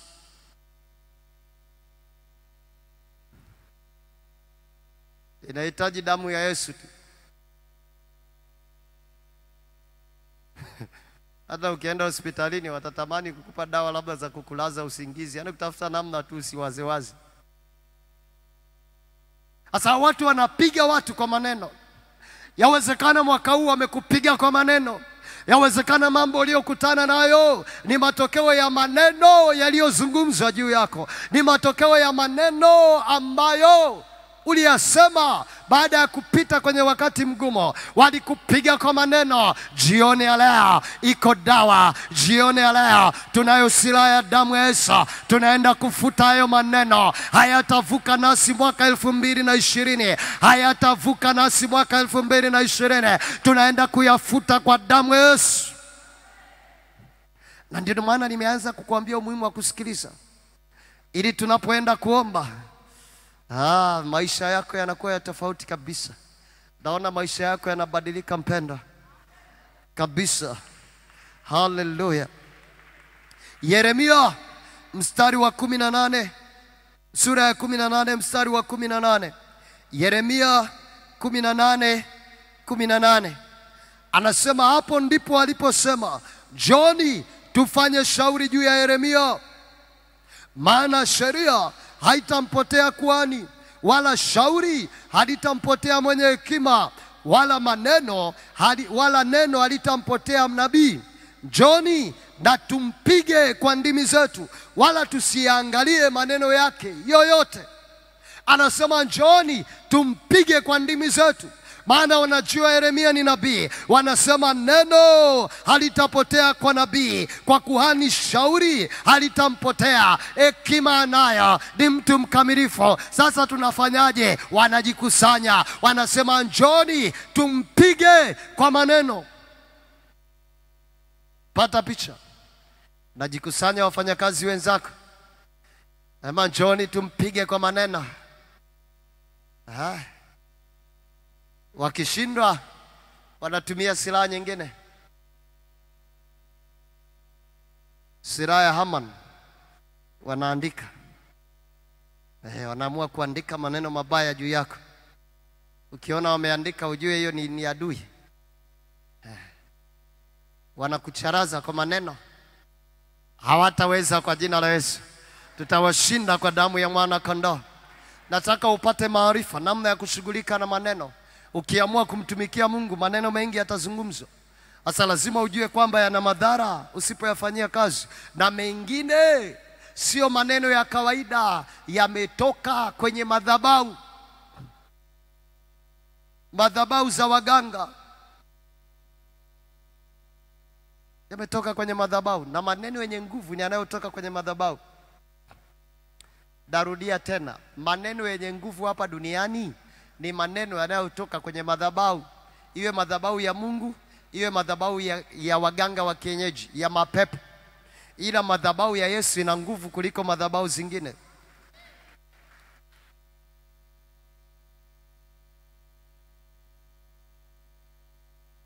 Zaburi ya mia moja na arobaini mstari wa tatu na kuonyesha mis- mistari mingi tu. Wamenoa ndimi zao kama nyoka, sumu ya fira hii chini ya midomo yao. Wameweka sumu kwenye maneno. Sasa unafanyaje ili tuingie kwenye maombi? Unafanyaje? Wameisha nena, huwezi kuzuia ndimi zao, labda kwa sababu tu wamekuchukia. Wakati mwingine ni kweli umekorofisha wakasikia uchungu wakanena. Sasa unafanyaje? Muulize ndugu yako, unafanyaje? Pointi namba mbili, neno la Mungu kinywani mwako ni silaha ya ulinzi. Andika, neno la Mungu kinywani mwako ni silaha ya ulinzi. Zaburi ya kumi na saba mstari wa nne. Andika na Isaya hamsini na moja kumi na tatu mpaka kumi na sita.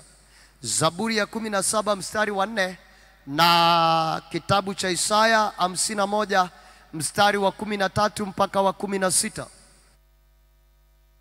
Neno la Mungu linasema hivi: mintarafu matendo ya wanadamu, kwa neno la midomo yako nimejiepusha na njia za wenye jeuri. Kwa neno la midomo yako, nani? Mungu, nimejiepusha na njia za wenye jeuri. Anaposema mintarafu kwenye Biblia ya Kiingereza wanasema with regard, kufuatana na maneno ya wanadamu, kutokana na maneno ya mwanadamu. Kwa neno la midomo yako nimejiepusha na njia za wenye jeuri. Zaburi ya Isaya hamsini na moja kumi na tatu ukamsahau Bwana Mungu wako yeye aliyezitanda mbingu na kuiweka misingi ya dunia, nawe ukaogopa daima mchana kuto kwa sababu ya ghadhabu yake yeye aoneaye hapo afanyapo tayari kuharibu, nayo iwapi ghadhabu yake aoneaye? Yeye aliyehamishwa na kufungwa atafunguliwa kwa haraka, wala atakufa na kushuka shimoni, wala chakula chake hakitapunguka. Maana mimi ni Bwana Mungu wako, nichafuae bahari, mawimbi yakavuma. Bwana wa majeshi ndilo jina lake nami nimetia maneno yangu kinywani pwako, nami nimekusitiri katika kivuli cha mkono wangu, ili nizipande mbingu na kuiweka misingi ya dunia, na kuambia Sayuni, nyinyi ni watu wangu. Anasema ukamsahau Mungu ukaogopa. Ukiona umeogopa, ujue umemsahau Mungu. Kwa hiyo anza kutubu kwa kumsahau Mungu, sio kwa sababu ya kinachokuogopesha. Yaani ukiona tu umeogopa chochote kisicho Mungu jua kwamba umemsahau nani. Ukaogopa kwa sababu ya ghadhabu ya huyo mtu au ya hicho kitu, ukaogopa kwa sababu ya maneno yao na matangazo yao. Sikiliza, Biblia inasema yeye ni Mungu anayechafua bahari. Anasema yuko wapi anayekutisha? Yuko wapi? Anasema utakufa wala utashuka shimoni. Yule aliyefungwa anafunguliwa. Anafunguliwaje? Anasema nimetia maneno yangu katika kinywa chako, nimetia maneno yangu katika kinywa chako ili nizipande mbingu. Kila mtu ana mbingu za kwake. Una mbingu ya kwako mpendwa. Ndio maana unaweza kawa hapa Dar es Salaam unasikia shida moyoni, una fadhaa, mwenzako yuko Dar es Salaam anafurahi. Mbingu ya dani moja lakini mmoja anafurahi, mwingine anahuzunika. Kwa nini? Kila mmoja ana mbingu yako, ana mbingu yake. Ndivyo Biblia inasema kwamba mbingu zako zitakuwa kama chuma usipomtii Mungu. Sasa anasema azipande mbingu, maana yake mbingu zako zinatakiwa zipandwe neno la Mungu. Sasa ili upande neno la Mungu, lazima litoke moyoni kwenda kinywani. Sikiliza, Biblia inasema kwa moyo mtu uamini atakupata haki, kwa kinywa ukiri atakupata nini? Kwa hiyo haitoshi kuamini moyoni peke yake. Gumu kidogo, lakini ndivyo ilivyo. Si ndivyo Biblia inavyosema kwamba kwa moyo mtu huamini hata kupata haki, kwamba umepata haki haina maana shida imeondoka, ila unastahili kuondoka kwenye shida. Lazima kuna mchakato wa kuondoka kwenye shida. Sikiliza, kama wazazi wako wamekufa, wewe ni mrithi, kwamba una haki, umeandikiwa urithi. Ni kweli, kwa sababu wewe ni mzaliwa, una haki ya kupata urithi, lakini huo urithi hauwezi ukawa wa kwako mpaka kuna mchakato. Kuna mchakato wa kisheria ambao unatakiwa ufanyike ili huo urithi uwe wa kwako. Huyu wa kwako tu kwa sababu wewe ni umezaliwa na mzee aliandika urithi. Ah, ah. Kuna mchakato wa kukurithisha. Kwa hiyo unapoamini unapata haki, lakini hiyo haki idhihirike ili uone wokovu, sio kuamini peke yake. Kuamini ni ulinzi, unakupa haki, lazima ukiri unachokiamini. Kwa lugha nyingine, unachokiamini akikusaidii mpaka umekikiri. kwa nje hakiwezi kuleta matokeo mpaka umekiri. Kinaweza kikaleta matokeo ndani kikakupa amani, lakini nje unataka mabadiliko, lazima ukiri. Kwa kinywa mtu anakiri. Unakiri nini? Unakiri neno la Mungu. Neno la Mungu kinywani ni muhimu. Yawezekana umefundishwa sana neno la Mungu moyoni, leo nakufundisha neno la Mungu kinywani, ni muhimu sana. Sasa sikiliza, ukisema kinywani aliko moyoni unakuwa msanii, unakuwa unaigiza. Sasa na ukiwa msanii huwezi ukanani, sababu hii ni mambo ya maisha, ni swala la uzima na mauti, ni swala la kutoka kwenye vifungo. Kwa hiyo alihitaji maigizo. Ukiigiza hata mapepo yanajua. Kwa hiyo weka neno moyoni, moyoni mwangu nimeliweka neno lako, nisije nikakutenda dhambi, alafu likiri hilo neno lilete wokovu. Kama umenielewa, punga mkono. Jambo la tatu, tuingie kwenye maombi. Isaya kumi na moja mstari wa nne. Pointi ya tatu kwa habari ya maneno, neno la Mungu moyoni mwako linasubiri ulitamke ili uweze kutoka katika mapingamizi. Isaya kumi na moja mstari wa nne. Ngoja nikupe mistari kuhusiana na hii pointi. Anasema, bali kwa haki atawahukumu maskini, naye ataonya wanyenyekevu wa dunia kwa adili, naye ataipiga dunia kwa fimbo ya kinywa chake, na kwa pumzi ya midomo yake atawaua wabaya. Anasema ataipiga dunia kwa fimbo ya kinywa. Kumbe tunazo fimbo kwenye vinywa. Sasa tunaenda kuitandika dunia inayotusumbua. Itandike mpendwa, unacho unayo fimbo, tandika kwa pumzi yako, piga kila kinachokusumbua. Usikae tu kulialia, unatumia ulimi vibaya. Kiri neno la Mungu. Haleluya! Anasema atawaua wabaya kwa pumzi. Kumbe pumzi zetu zina nguvu. Haleluya! Mithali kumi ishirini. Nakupa maandiko, sio mawazo yangu. Mithali kumi ishirini. Ulimi wa mwenye haki ni kama fedha teule, moyo wa mtu mbaya hufai kitu. Ulimi wa mwenye haki ni kama fedha teule. Sasa sikiliza, kwa nini anasema fedha? Fedha ina vitu vingi inaweza ikafanya kwenye maisha yako. Kwa fedha unaweza ukanunua vitu, ukapata huduma, ukanunua huduma, ukafanya vitu vingi. Umeelewa? Kwa hiyo fedha ni muhimu kwa sababu ya vile ambavyo inaweza kufanya, na inafanya pale ambapo watu wanaiamini kwamba inaweza ikawa na hiyo thamani. Tukikosa imani na pesa ya Tanzania haiwezi kufanya kazi yoyote. Ni mpaka tuwe na imani na shilingi ya Tanzania ndipo itatusaidia, na tunajitahidi kwamba asiwepo Mtanzania ambaye hana imani na hiyo shilingi ili kwamba iwe msaada. Ikikosa imani, ndio maana ukichukua shilingi ya Tanzania ukaenda Kenya huwezi kununua kitu, kwa sababu hawaamini mpaka wabadilishe. Bwana Yesu asifiwe. Sasa anasema kinywa cha mwenye haki ni kama fedha teule. Kwa hiyo unacho cha thamani zaidi ya pesa kinaweza kufanya mambo makubwa kuliko pesa. Kwa hiyo pata picha namna ambavyo fedha inaweza ikafanya mambo, lakini kinywa chako wewe uliyemwamini Yesu kinaweza kufanya mambo makubwa ambayo fedha haiwezi ikafanya.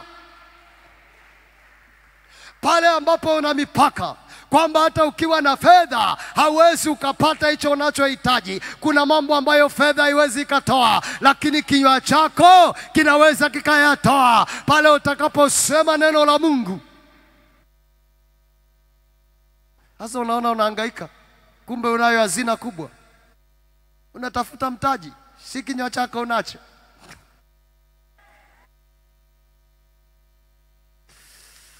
Kuna watu wanapata ufunuo na watu wanapata ufunuo. Sante Roho Mtakatifu. Sasa tunaendaje kuomba? Nakufundisha taratibu, tunaendaje kuomba? Unaombaje ombaje sasa? Unaombaje ombaje? Mwambie mwenzako saa ya maombi imekaribia, kaa vizuri. Unaombaje ombaje? Tumia neno la Mungu. Kwa mfano, Isaya saba saba Bwana Mungu asema hivi, neno hili halitasimama wala halitakuwa.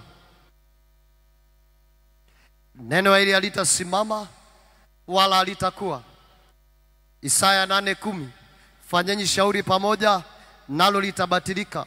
Semeni neno, lakini halitasimama, maana Mungu yu pamoja nasi. Neno likisemwa linasimama kabla ya kutokea. Sasa watu wakisema maneno yaangushe chini, yasisimame, maana yakisimama yatatokea. Anasema hilo neno halitasimama wala halitakuwa, kwa sababu kabla ya kuwa linasimama kwanza.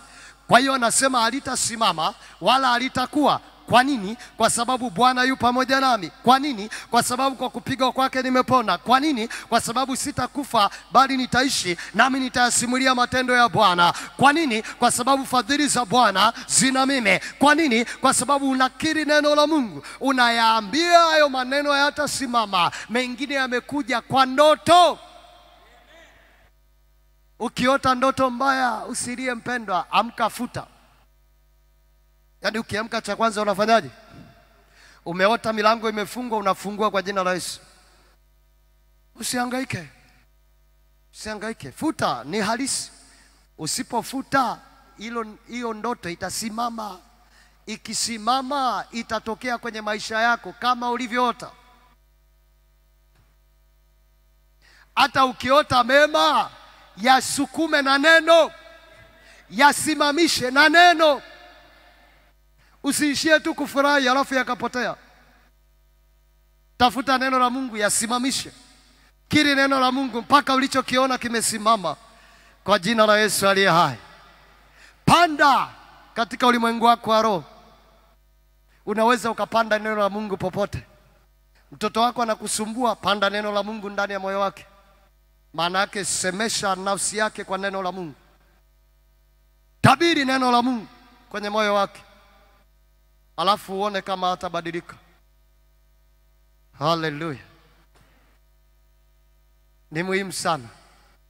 Bila neno akikufanyika chochote kilichofanyika. Mungu anafanya kazi kwa neno. Ni mwanadamu tu alimuumba kwa mikono, tena aliumba mwili, lakini yote aliumba kwa neno, na hata sasa anaumba kwa neno. Kwa hiyo tunaposema neno la Mungu, sisifikiri tu ni maneno kama maneno mengine, ni vitu vinavyoumba na ametupa hiyo neema kwa kuwa tumeumbwa kwa mfano na sura ya Mungu. Tumepewa neema ya kuumba kama yeye anavyoumba. Ili Mungu afanye kitu kitokee, anasema kwanza. Sasa kama Mungu anasema ndipo mambo yanatokea, wewe unatakaje yatokee bila kusema, wakati umeumbwa kwa mfano wa Mungu? Alivyosema iwe nuru, ikawa nuru, yawepo mazao, yakawepo na sisi ametuumba hivyo hivyo, tunafanana naye, tuna mbegu ya kiungu ndani yetu. Tukisema mambo yanakuwa, hatuhitaji kuogopa. Haleluya! Kwa hiyo na wewe jifunze kusema, kwa imani na itakuwa kama unavyosema, kwa kuwa wewe ni mwana wa Mungu. Mwana wa Mungu anaweza kuumba, maana Mungu anaumba alivyo Mungu ndivyo alivyo watoto wake. Sasa tunaumba sawasawa na neno, anatudhibiti usije tukaumba vibaya. Najua hata mtoto wako kama una mali unamdhibiti mpaka apate akili, asije akafanya mambo ya ajabu. Eh, maana tusipodhibitiwa tutaumba mambo ya ajabu. Tena ukiwa mtumishi, jifunze sana kuwa mwangalifu. Unaweza ukawanenea watu mabaya wakapata shida, alafu natubu Mungu nisamee, lakini tayari imeshakula kwao. Jifunze sana kuwa mvumilivu, ndio maana saburi ni muhimu sana. Bwana Yesu asifiwe. Usiwe mwepesi utamka maneno mabaya, hata kama kweli wamekuonea, ni kweli kabisa, ni shida, lakini jifunze kujidhibiti. Mtoto wako amekukasirisha sana, jizuie kutamka mabaya, maana utatamka baadaye, asira itaondoka, lakini tayari umeshapanda katika ulimwengu wa roho, alafu usahau kufuta uone. Sasa unaweza ukaona hapa tumekuja, maisha yanabadilika, yaani tunazungumza habari ya maisha ya kila siku. Haleluya. Isaya 54:17 anasema, kila silaha itakayofanyika juu yako haitafanikiwa, na kila ulimi utakayoinuka juu yako katika hukumu utahukumu kuwa mkosa. Huu ndio urithi wa watumishi wa Bwana na haki itakayo kwangu mimi, asema Bwana. Hapa tuna urithi wa watumishi wa Bwana kwamba kila silaha itakayosimama haitafanikiwa. Kila ulimi utakaokiri kinyume na wewe, utakaojaribu kukuhukumu, utauhesabu kuwa umehukumiwa. Wewe ndio unatakiwa kuuhesabu kwamba huo ulimi umehukumiwa, kwamba walichokisema hakitatokea, kwa sababu damu ya Yesu imenitakasa, kwa sababu damu ya Yesu imeniondolea hatia. Kwa hiyo hiyo hatia haitanipata, haipo tena. Hilo agano halitasimama kwa sababu ya agano la damu ya Yesu. Unafuta hayo maneno kwa damu ya Yesu, unasema ninao urithi kwamba hakuna ulimi ambao utainuka kinyume nami ukafanikiwa. Haijalishi watakachonena, lakini utasonga mbele kwa sababu neno la Mungu limesema unao urithi kwa Bwana, unao urithi kwa Bwana. Acha waseme wanachosema, tunajua namna ya kufuta, tutafuta na kusonga mbele.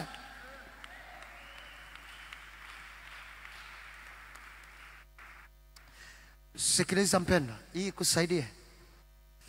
Wakati mwingine unaweza ukaamka ukajisikia ghafla, unajisikia vibaya, unajisikia vibaya, unajisikia uzito, unajisikia vibaya. Ukiona namna hiyo, yawezekana kuna maneno yametamkwa kinyume na wewe, kuna maneno yametengenezwa na watu kinyume na wewe, yanakufanya ujisikie vibaya, na unavyojisikia vibaya Roho Mtakatifu anakufundisha, anakusemesha kwamba kuna kitu cha kufanyia kazi. Sikiliza, mtu akikusema vibaya, hujasikia mahali, ukikutana naye ghafla tu unajisikia uko mbali na yeye. Yaani ukimwona tu ghafla unajisikia una nini, hujui kilichofanyika, hujasikia aliyoyasema lakini kwa sababu imetengenezwa katika ulimwengu wa roho, hayo maneno yamesimamishwa katika ulimwengu wa roho. Kwa hiyo ghafla unakosa amani. Kwa hiyo ukiona umekutana na mpendwa ghafla umekosa amani, anza toba haraka na kumwambia Mungu, kitu gani hapa kimetutenga? Acha damu ya Yesu isafishe. Ukimuuliza vizuri, kuna kitu amefanya. Ha, Mpendwa, nisamehe tu. Anajua kwamba watu wamekwambia, kumbe wakati mwingine unasoma unasikiliza roho wa Mungu anavyosema na wewe. Unaweza ukajua tu kwamba huyu huyu mwenzangu leo, yani huyu mwenzangu leo kuna kitu amefanya huko alikotoka. Hebu niambie, ulikuwa wapi?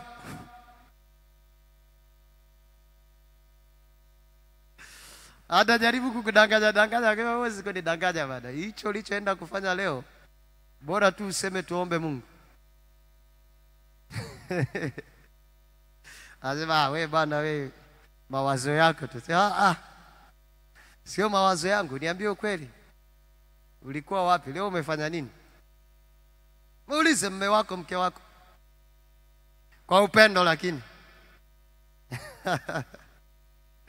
Hata mtoto wako unaweza ukajua kama amesema mambo mabaya, amefanya jambo baya, akija tu mbele zako, kama uko sense rohoni, uko vizuri, unajua kusikiliza, utajua tu hapa tayari mtoto wangu ana shida, na hiyo shida kuna neno lililosimama nyuma yake. Yaani kila kinachotokea kwenye maisha yako, namalizia hivi ili upate mzigo wa kuomba. Kila kinachotokea kwenye maisha yako kina neno nyuma yake. Ili Mungu afanye mema kwenye maisha yako, ataleta neno kwako. Maana anasema ulituma neno lake na kuwaponya na kuwatoa katika maangamizi yote. Tumshukuru Mungu. Baba, katika jina la Yesu, Mungu uliye mwaminifu, Mungu uliye hai, Mungu uliye nguvu yetu, asante kwa maana wewe ni Bwana, asante kwa maana wewe ni mfalme. Baba, tunakushukuru kwa ajili ya neno lako, asante kwa ajili ya kila mmoja ambaye amesikia ujumbe huu, asante kwa ajili ya Ijumaa ya leo ambayo umetupa ufunuo, namna ya kushughulika na maneno, namna ya kukusikiliza. Mungu uliye hai, tusaidie sasa tunapoomba, ukayasikie maombi yetu, damu ya Yesu ikanene mema. Achilia roho ya neema na maombi, achilia msaada wa malaika ambao atatusaidia tunapoomba, ukawatume malaika zako, tunakusie wakashughulike na kila hitaji mahali popote duniani, ukatende Bwana wa mabwana, ukilithibitisha neno lako, ukalipige muhuri ndani ya mioyo yetu, ukaliweke alama ndani ya mioyo yetu, mioyo yetu iwe na alama ya neno lako, kwamba umesema nasi tumeamini, nasi tumepokea, na imekuwa kama tulivyoamini. Tupe ujasiri wa kukiri kile ambacho tunakiamini, hata kama katika akili zetu ni kinyume pia na watu wanavyoona. Msaidie kila moja anapoingia kwenye maombi sai, tenda kazi Bwana. Saa imefika ulitukuze jina lako, saa imefika ulitukuze jina lako, magonjwa yakasikia na kuondoka, vifungo vikapate kuachilia. Asiwepo mmoja ambaye amekuja na udhaifu akaondoka nao, asiwepo mmoja ambaye amekuja na vifungo akaondoka navyo. Acha wema wako ukapate kumfunika mahali popote alipo duniani, acha wema wako kapate kumfunika. Baba, ninakushukuru Baba, ninakutukuza Baba, ninakuinua, maana kila tunapokuita tumekuona Bwana ukitenda. Tenda tena siku ya leo, tenda tena sai kwa ajili yako mwenyewe, ukaponye na kuokoa. Kwa jina la Yesu tumeomba tukiamini, amen. Shangilia Mungu aliye hai.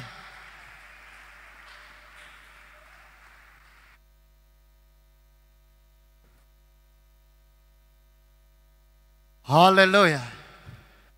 Wakati praise team wanaimba, tutaenda kutoa sadaka, na baada ya sadaka tutaingia kwenye maombi.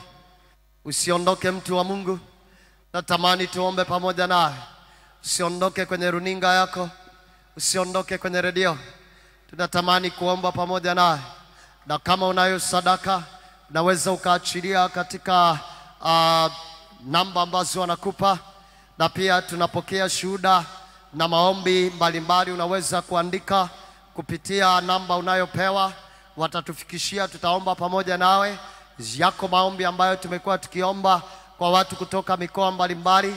Kwa hiyo andika kama unahitaji maalum, ili kwamba tuweze kuomba pamoja nawe. Wakati huu tunapotoa sadaka, mwambie Mungu asante kwa ajili ya ufunuo huu, na mara baada ya kutoa sadaka tutaingia kwenye maombi. Karibu praise team wakati tunamshukuru Mungu kwa sadaka zetu.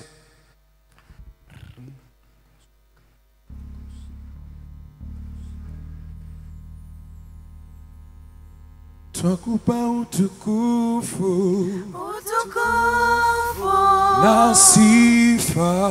na sifa. Twainua mikono yetu, twainua mikono yetu kutukuza jina lako. Twakupa utukufu Utukufu na sifa. na sifa. Twainua mikono yetu, twainua mikono yetu kutukuza jina lako. Tena twakupa utukufu Utukufu na sifa, na sifa. Ye twainua, twainua mikono yetu kutukuza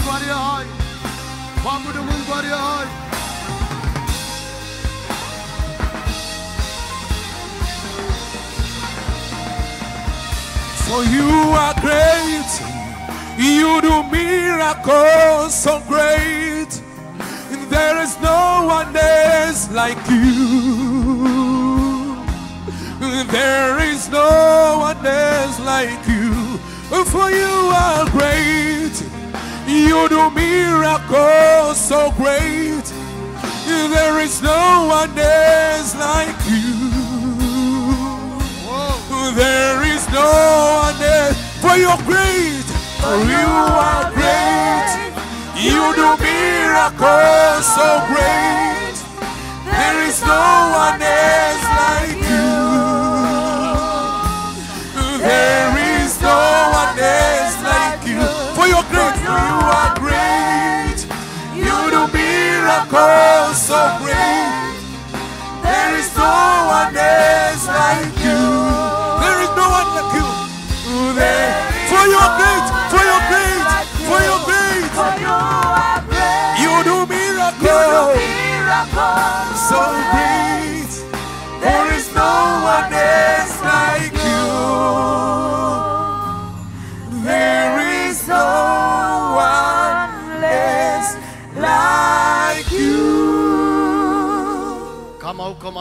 hapa, Yesu sio Bwana na Mwokozi wa maisha yako, ni vyema ukampa Yesu maisha, maana akiwa ndani yako ndipo utakuwa salama. Hata akikuponya magonjwa yako, roho yako inaokoka milele. Bana wa ugonjwa utapona, lakini baada ya muda utaondoka duniani, hutaishi milele. Bora uwe na Yesu uishi milele, awe msaada hata kwa mambo mengine. Kama Yesu sio Bwana na Mwokozi, sogea hapa mbele niombe pamoja nawe na wewe ambaye unanisikiliza kwa njia ya redio, kwa njia ya Upendo TV, hakikisha unampa Yesu maisha. Tunapoomba na wewe uombe, alafu tuandikie message ili tuweze kwenda pamoja nawe. Sogea, sogea hapa ukiwa unamhitaji Yesu awe Bwana na Mwokozi wa maisha yako. Sogea hapa mbele tuombe. Hauna uhakika na uokovu ulio nao, sogea hapa mbele tuombe. Yesu yuko tayari kukuokoa, Yesu yuko tayari kukusaidia. Shangilia Mungu kwa ajili ya watu wa Mungu. Haleluya. Barikiwe sana vijana, unapompokea Yesu nafanya jambo la maana, nafanya jambo la maana. Ninaomba tena, kama uko mahali hapa, kuna maneno yamesimama juu ya ndoto, meota ndoto mbaya, au juu cha kufanya, meota wanakuzika, meota unafanya ibada za sanamu, utasogea hapa mbele tuombe, utasogea hapa mbele tuombe. Karibu wakati praise team wanaimba, taka tufute maneno, utafanya maombi ya kufuta maneno ambayo yamekuja kwa njia ya ndoto, yawezekana yamekuja kwa namna nyingine. Utasimama nyuma yao watu, mwamini Yesu, mwamini ulichokisikia kwamba neno la Mungu ni amini na kweli. Amini kwamba neno la Mungu ni kweli. Tutaenda kufanya maombi na kuna kitu kinaenda kutokea, na kama uko mahali hapa ni mgonjwa, sogea hapa mbele tuombe, sogea hapa mbele tuombe. Damu ya Yesu inanena mema, Inanena mema. damu ya Yesu. Inanena mema, Inanena mema. damu ya Yesu. Yesu inanena mema, inanena mema, damu yake Yesu inanena mema, inanena mema, damu ya Yesu. inatutakasa, inatutakasa, damu ya Yesu inatutakasa, inatutakasa, damu ya Yesu yaweza pambana, yaweza pambana, damu ya Yesu. Yaweza pambana. yaweza pambana, Oh, inanena mema, inanena damu inanena mema, inanena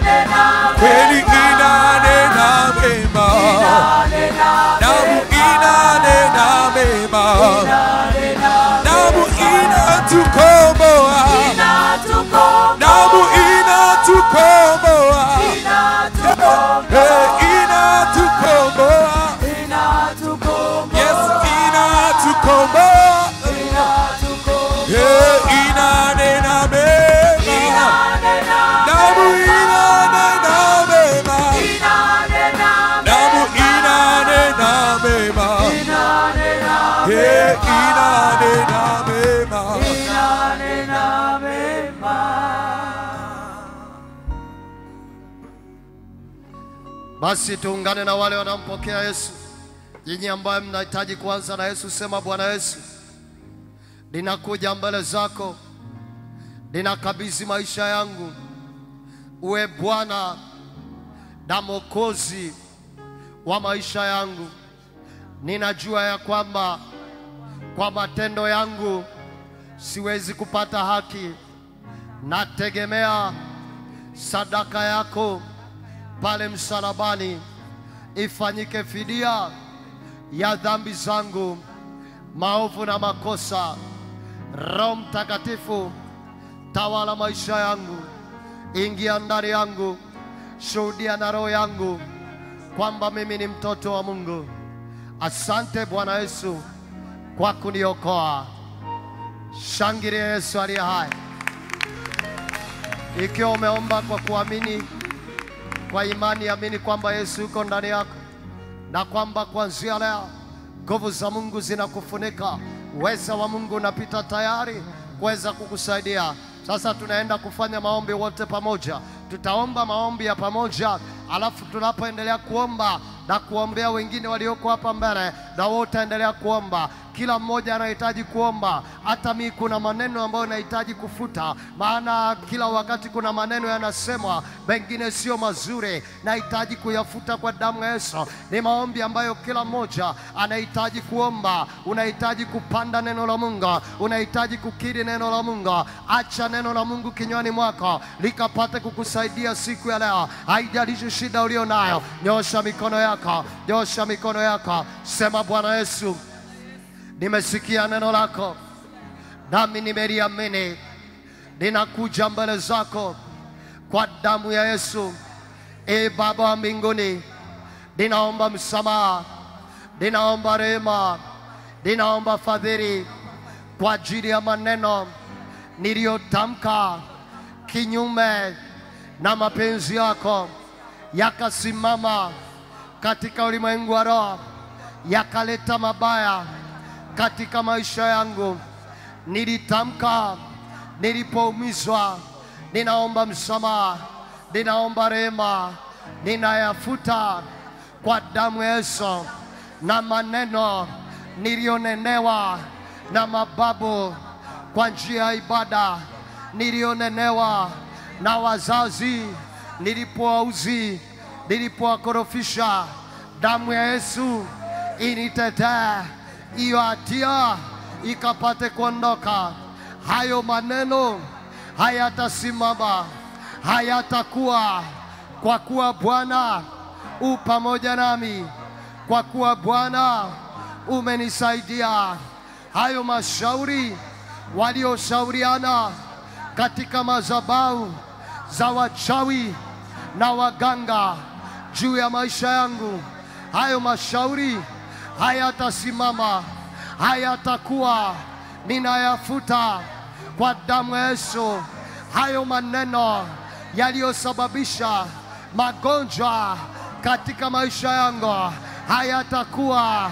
Hayo maneno yaliyotamkwa katika ndoto nilipokuwa naota, maneno ya mauti, maneno ya kushindwa, maneno ya kutokuwa na matunda, maneno ya kutokuwa na watoto, ninayafuta kwa damu ya Yesu. Hiyo ndoto haitakuwa, haitatokea kwa jina la Yesu, kwa damu ya Yesu, kwa jina la Yesu, kwa damu ya Yesu. Ninafuta hayo maneno, ninang'oa hiyo sumu, hiyo sumu iliyoambatana na hayo maneno ambayo iliingia katika moyo nilipotafakari ninaiondoa hiyo sumu, ninaiondoa hiyo sumu, haitanizora kwa jina la Yesu.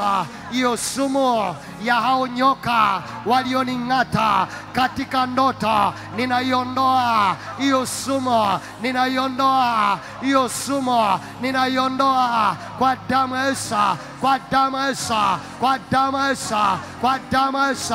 Naruhusu damu ya Yesu inene mema.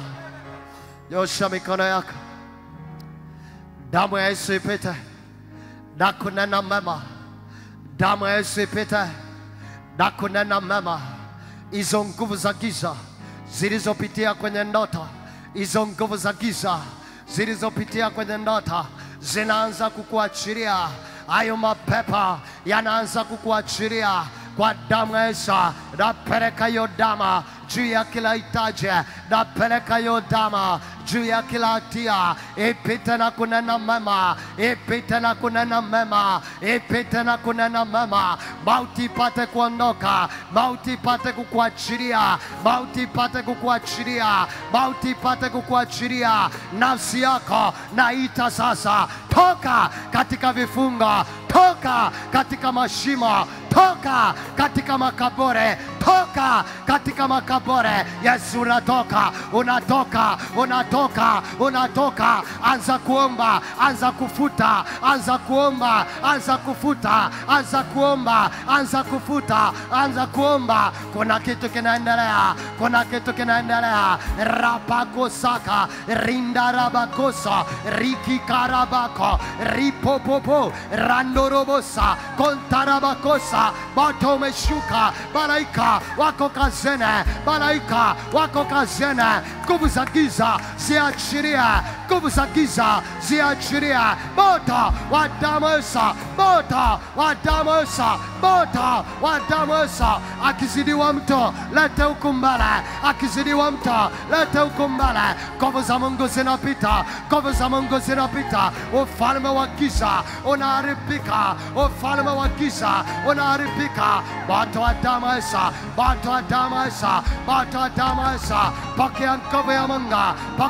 ya ya pokea nguvu ya Mungu. I release that holy anointing, I release that holy anointing, I release that holy anointing. Fire of the Holy Ghost, fire of the Holy Ghost. Hayo maneno hayatakuwa, hayo maneno hayatasimama, hayo maneno hayatasimama. Naachilia moto, naachilia moto, naachilia moto, naachilia moto. Mizimu ikuachilia, mizimu ikuachilia, mizimu ikuachilia ah, kwa njia ndoto. Malango ya majira yapate kuwekwa huru, yapate kuwa wazi. Moto wa damu ya Yesu, moto wa moto wa moto wa moto wa damu ya Yesu. Pokea uzima, pokea ukomboza, pokea uzima, pokea ukomboza, pokea uzima. Moto upita, moto upita, moto upita, moto upita, moto upita. Fire of the Holy Ghost, fire of the Holy Ghost, Fire, oh the Holy fire, oh the Holy I release that, that fire, I release that, that fire, tombola kola uzaza, lewa kwara, tombola kola uzaza, lewa kwara, kelankovo za kizat, kelankovo za mapepa, kelankovo za majine, ziachiria, maisha yako, uachiriwe, kwa jina la Yesu, uachiriwe, kwa jina la Yesu, uachiriwe, kwa jina la Yesu, uachiriwe, kwa jina la Yesu, uachiliwe kwa jina la Yesu. Endelea kuomba, endelea kuomba, endelea kuomba. Popote unapofuatilia kwa njia ya TV, endelea kuomba, wataupita, wataupita, wataupita nguvu za giza. Achia huyu dada, achia maisha yake, achia maisha yake, wataupita kwa damu ya Yesu, wataupita kwenye hizo fikra, wataupita kwenye hizo fikra, wataupita na achilia moto, Kovza Kiza, Atia Maishaka, Atia Maishaka, Rapakosaka, Rapakosaka, Rapakosaka, Bota, Wadamaisa, Bota, Wadamaisa, Bota, Wadamaisa, Bota, Wadamaisa, da Bemina Mota, da Bemina Mota, Kovza Kiza, Atia Yubeta, Atia Maishaka, Atia Maishaka, Atia Maishaka, Fire, oh O da Holy Ghost, Fire, oh O da Holy Ghost, Fire. Oh Daurgus, mizimu achia, mizimu achia, atasoma atafanikiwa, atasoma atafanikiwa, atasoma atafanikiwa. Bota upita, bota upita,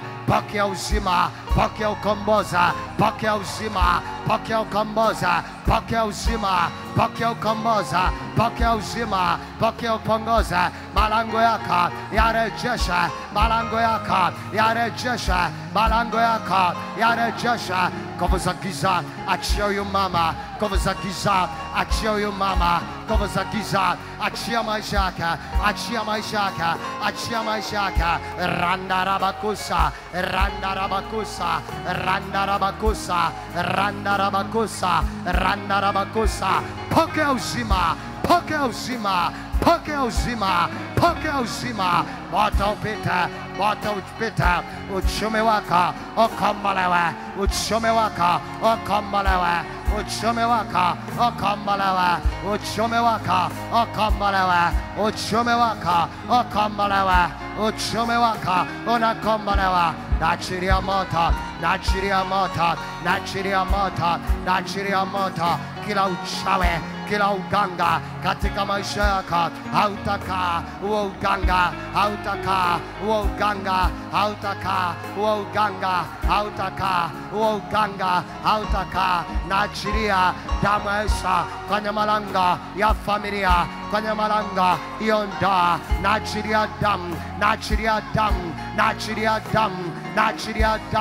Fire of the Holy Ghost, Ochongo Wandaka, Ochongo Wachiria, Ochongo Wandaka, Ochongo Wachiria, Mata, Mata, Mata, Mata, Mata. Mata, Nazidisha, Uamata, Ayomagana, Ayomagana, Ayataka, Ayomagana, Ayata Simama, Ayomagana, Ayata Simama, La Piga, na Reba, na Piga, na Reba, na Piga, na Reba, Achia, Toka, Wajina Raisa, Toka, Wajina Raisa, Toka, Wajina Raisa, Toka, Wajina Raisa, Ba ba ba ba ba ba. That's Shiria Mata naachilia moto, achia ndoa yake, achia, achia future yake, achia, achia future yake, achia, napiga na reba, napiga na reba, roho za kukataliwa, roho za kukataliwa, achia, achia, achia, achia, achia, achia, achia, toka kwa jina la Yesu. Ba, ba, ba, ba, ba, ba, ba. Ba, ba, ba, ba, ba, ba, ba, ba, ba, ba. Ba, ba, ba, ba, ba, ba, Dacci riamata, dacci riamata, dacci riamata, dacci riamata. Quando è l'ottombo la usase, che la lana, che la miccosa, che l'ampego a sui panda baba, in angoleva, in angoleva, in angoleva. Pokea uzima kwa jina la Yesu. Huzuni yako ipate kuondoka, huzuni yako ipate kuondoka, huzuni yako ipate kuondoka, huzuni yako ipate kuondoka kwa jina la Yesu. Moto wa damu Yesu, fire of the Holy Ghost, fire of the Holy Ghost, fire of the Holy Ghost. I release that fire. I release that fire. I release that fire. I release that fire. I release that fire. Fire of the Holy Ghost. Fire of the Holy Ghost. Fire of the Holy Ghost. Pokea uzima, pokea ukomboza, pokea uzima, pokea ukomboza, pokea uzima, pokea ukomboza. Ripa pa pa pa, ripa pa pa pa, ripa pa pa pa, pokea uzima, Pakiel Kamoza, Pakiel Zima, Pakiel Kamoza, como Zakiza, Ziatiria, como Zakiza, Ziatiria, como Zakiza, Ziatiria, como Zakiza, Pakiel Zima, Pakiel Kamoza, Randurubusa, Randurubusa, Randurubusa, Randurubusa, Randurubusa, Pepwa Chafa, Tokachia, Tokachia, Tokachia, Tokachia, toka chia, toka chia, toka chia, toka chia. Achia huduma yake, achia utumishi wake, achia huduma yake,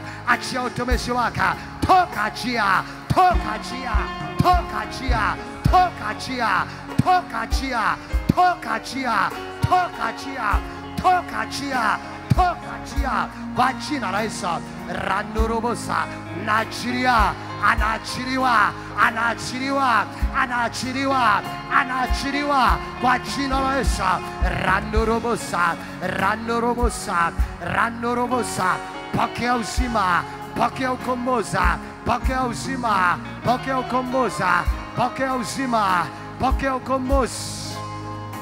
Bota o Peter, bota o Peter. Malango ya majira, malango ya majira, napega, napiga nguvu za giza kupitia jina, nguvu za giza, mateso leo ni mwisha mateso leo ni mwisho.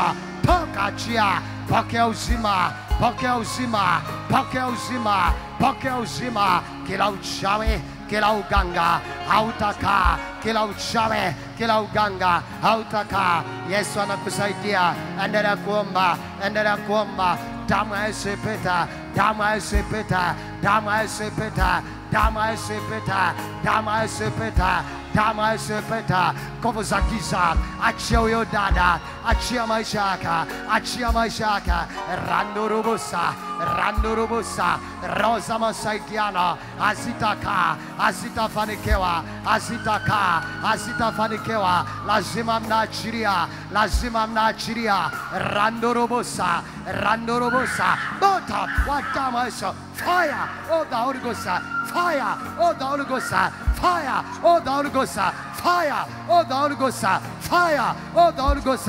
Achia maisha yake, randirabakosa, randirabakosa. Ewe nyoka, ewe nyoka, napiga huyo nyoka, napiga huyo nyoka, napiga huyo nyoka, napiga huyo nyoka, napiga huyo nyoka, napiga huyo nyoka. Hayo maneno, hayo maneno, napiga hayatakaa, napiga hayatakaa, napiga hayatakaa, napiga huyo nyoka kwa jina la Yesu.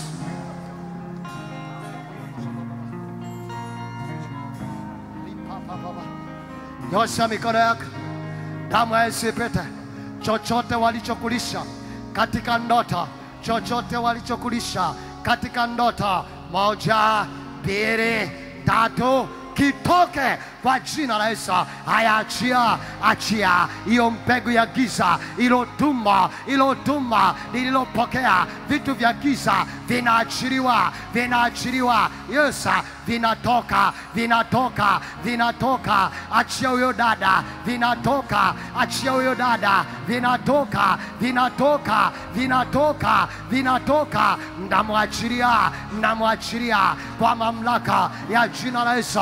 Malaika ingia kazini, malaika waingie kazini, malaika waingie kazini na kung'oa kila pando la doe, na kung'oa kila pando la doe kwa jina la Yesu Kristo, uwe mzima. Hayo maneno ya mauti hayatasimama, hayo maneno ya mauti hayatakuwa, hayo maneno ya mauti hayatakuwa. Randarabakosa, randarabakosa, randarabakosa, randarabakosa, rikarabakosa. Nafuta hayo maneno, natamka uzima, natamka ukomboza, natamka uzima natamka ukomboza kwa jina la Yesu Kristo wa Nazareti aliye hai.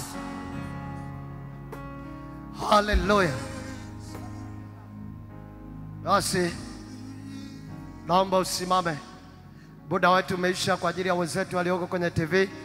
Karibu tena Ijumaa ijayo. Kisikia kuomba, endelea kuomba, au wengine taendelea kuomba pamoja nao, na huyo dada anaenda kufunguliwa. Hatutakubali aweze kuendelea kuteseka. Damu ya Yesu inapita na kunena mema. Nyosha mikono yako. Baba, asante kwa ajili ya neno lako. Neno lako lipite na kufanyika ukombozi, lisikurudie bure, likafanikiwe katika yale ambayo umelituma. Mbariki kila mmoja ambaye amefuatilia katika redio, yule aliyefuatilia kwa njia ya TV. Na tamka uzima, kansa ikuachilie, ukimwi ikuachilie, uwe mzima. Laana zimeondoka, vifungo vimeondoka, uwe huru sasa kwa jina la Yesu, na neno la Bwana likuweke huru, na neno la Bwana likupe amani, uzuni iondoke, upate kibali cha Bwana, upewe neema ya kwenda mwaka mwingine kwa ushindi, kwa ushindi. Yaliyofanyika mwaka huu, yaliyokumiza mwaka huu, uchungu uondoke. Uwe na amani, mtu wa Mungu, uwe na amani, mtu wa Mungu. Tunakubariki kwa jina la Bwana, tunakubariki kwa jina la Bwana. Baraka ya Bwana ikapate kukulinda, baraka ya Bwana ikapate kukufanikisha. Ninakubariki kwa jina la Bwana. Bwana Mungu akubariki na kukulinda. Bwana Mungu akuangazie nuru za uso wake na kukufadhili. Bwana Mungu akunilie uso wake na kukupa amani, kwa jina la Baba na la Mwana na Roho Mtakatifu, amen. Shangilie Mungu aliye hai. Anaendeni kwa amani ya Bwana. Endeleeni kuomba, endeleeni kuomba, endeleeni kuomba. Ukisikia kuomba, ukisikia kuondoka, uwe na amani. Mwamini Mungu kwamba amesikia maombi yako. Mwamini Mungu kwamba amesikia maombi yako. Tunawashukuru ambao umetufuatilia kwa njia ya TV. Mungu awabariki. Karibu tena Ijumaa ijayo, ibada inaendelea, ibada inaendelea. Yesu, Yesu, uh, Yesu, jina lako lina nguvu. Yesu, uh, Yesu. Yesu,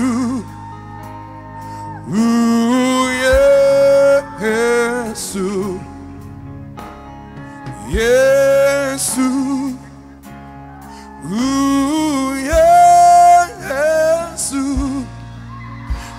jina lako lina nguvu, ita Yesu.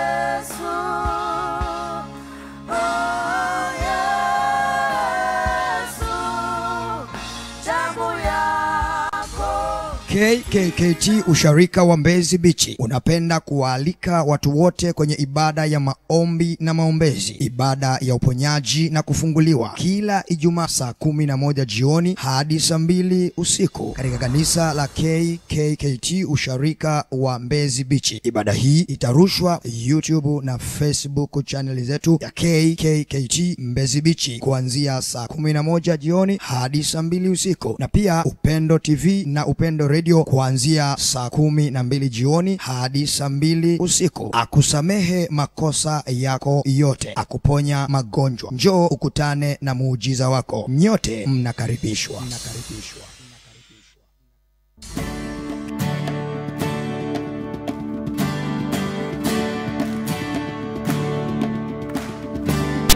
The senior pastor of ELCT Mbezi Beach Parish, Pastor Allen Adam Biso, would like to welcome you to the English service every Sunday from 2 p.m. to 3 p.m. at Mbezi Beach Lutheran Church. Come and worship with us. Your life will never be the same.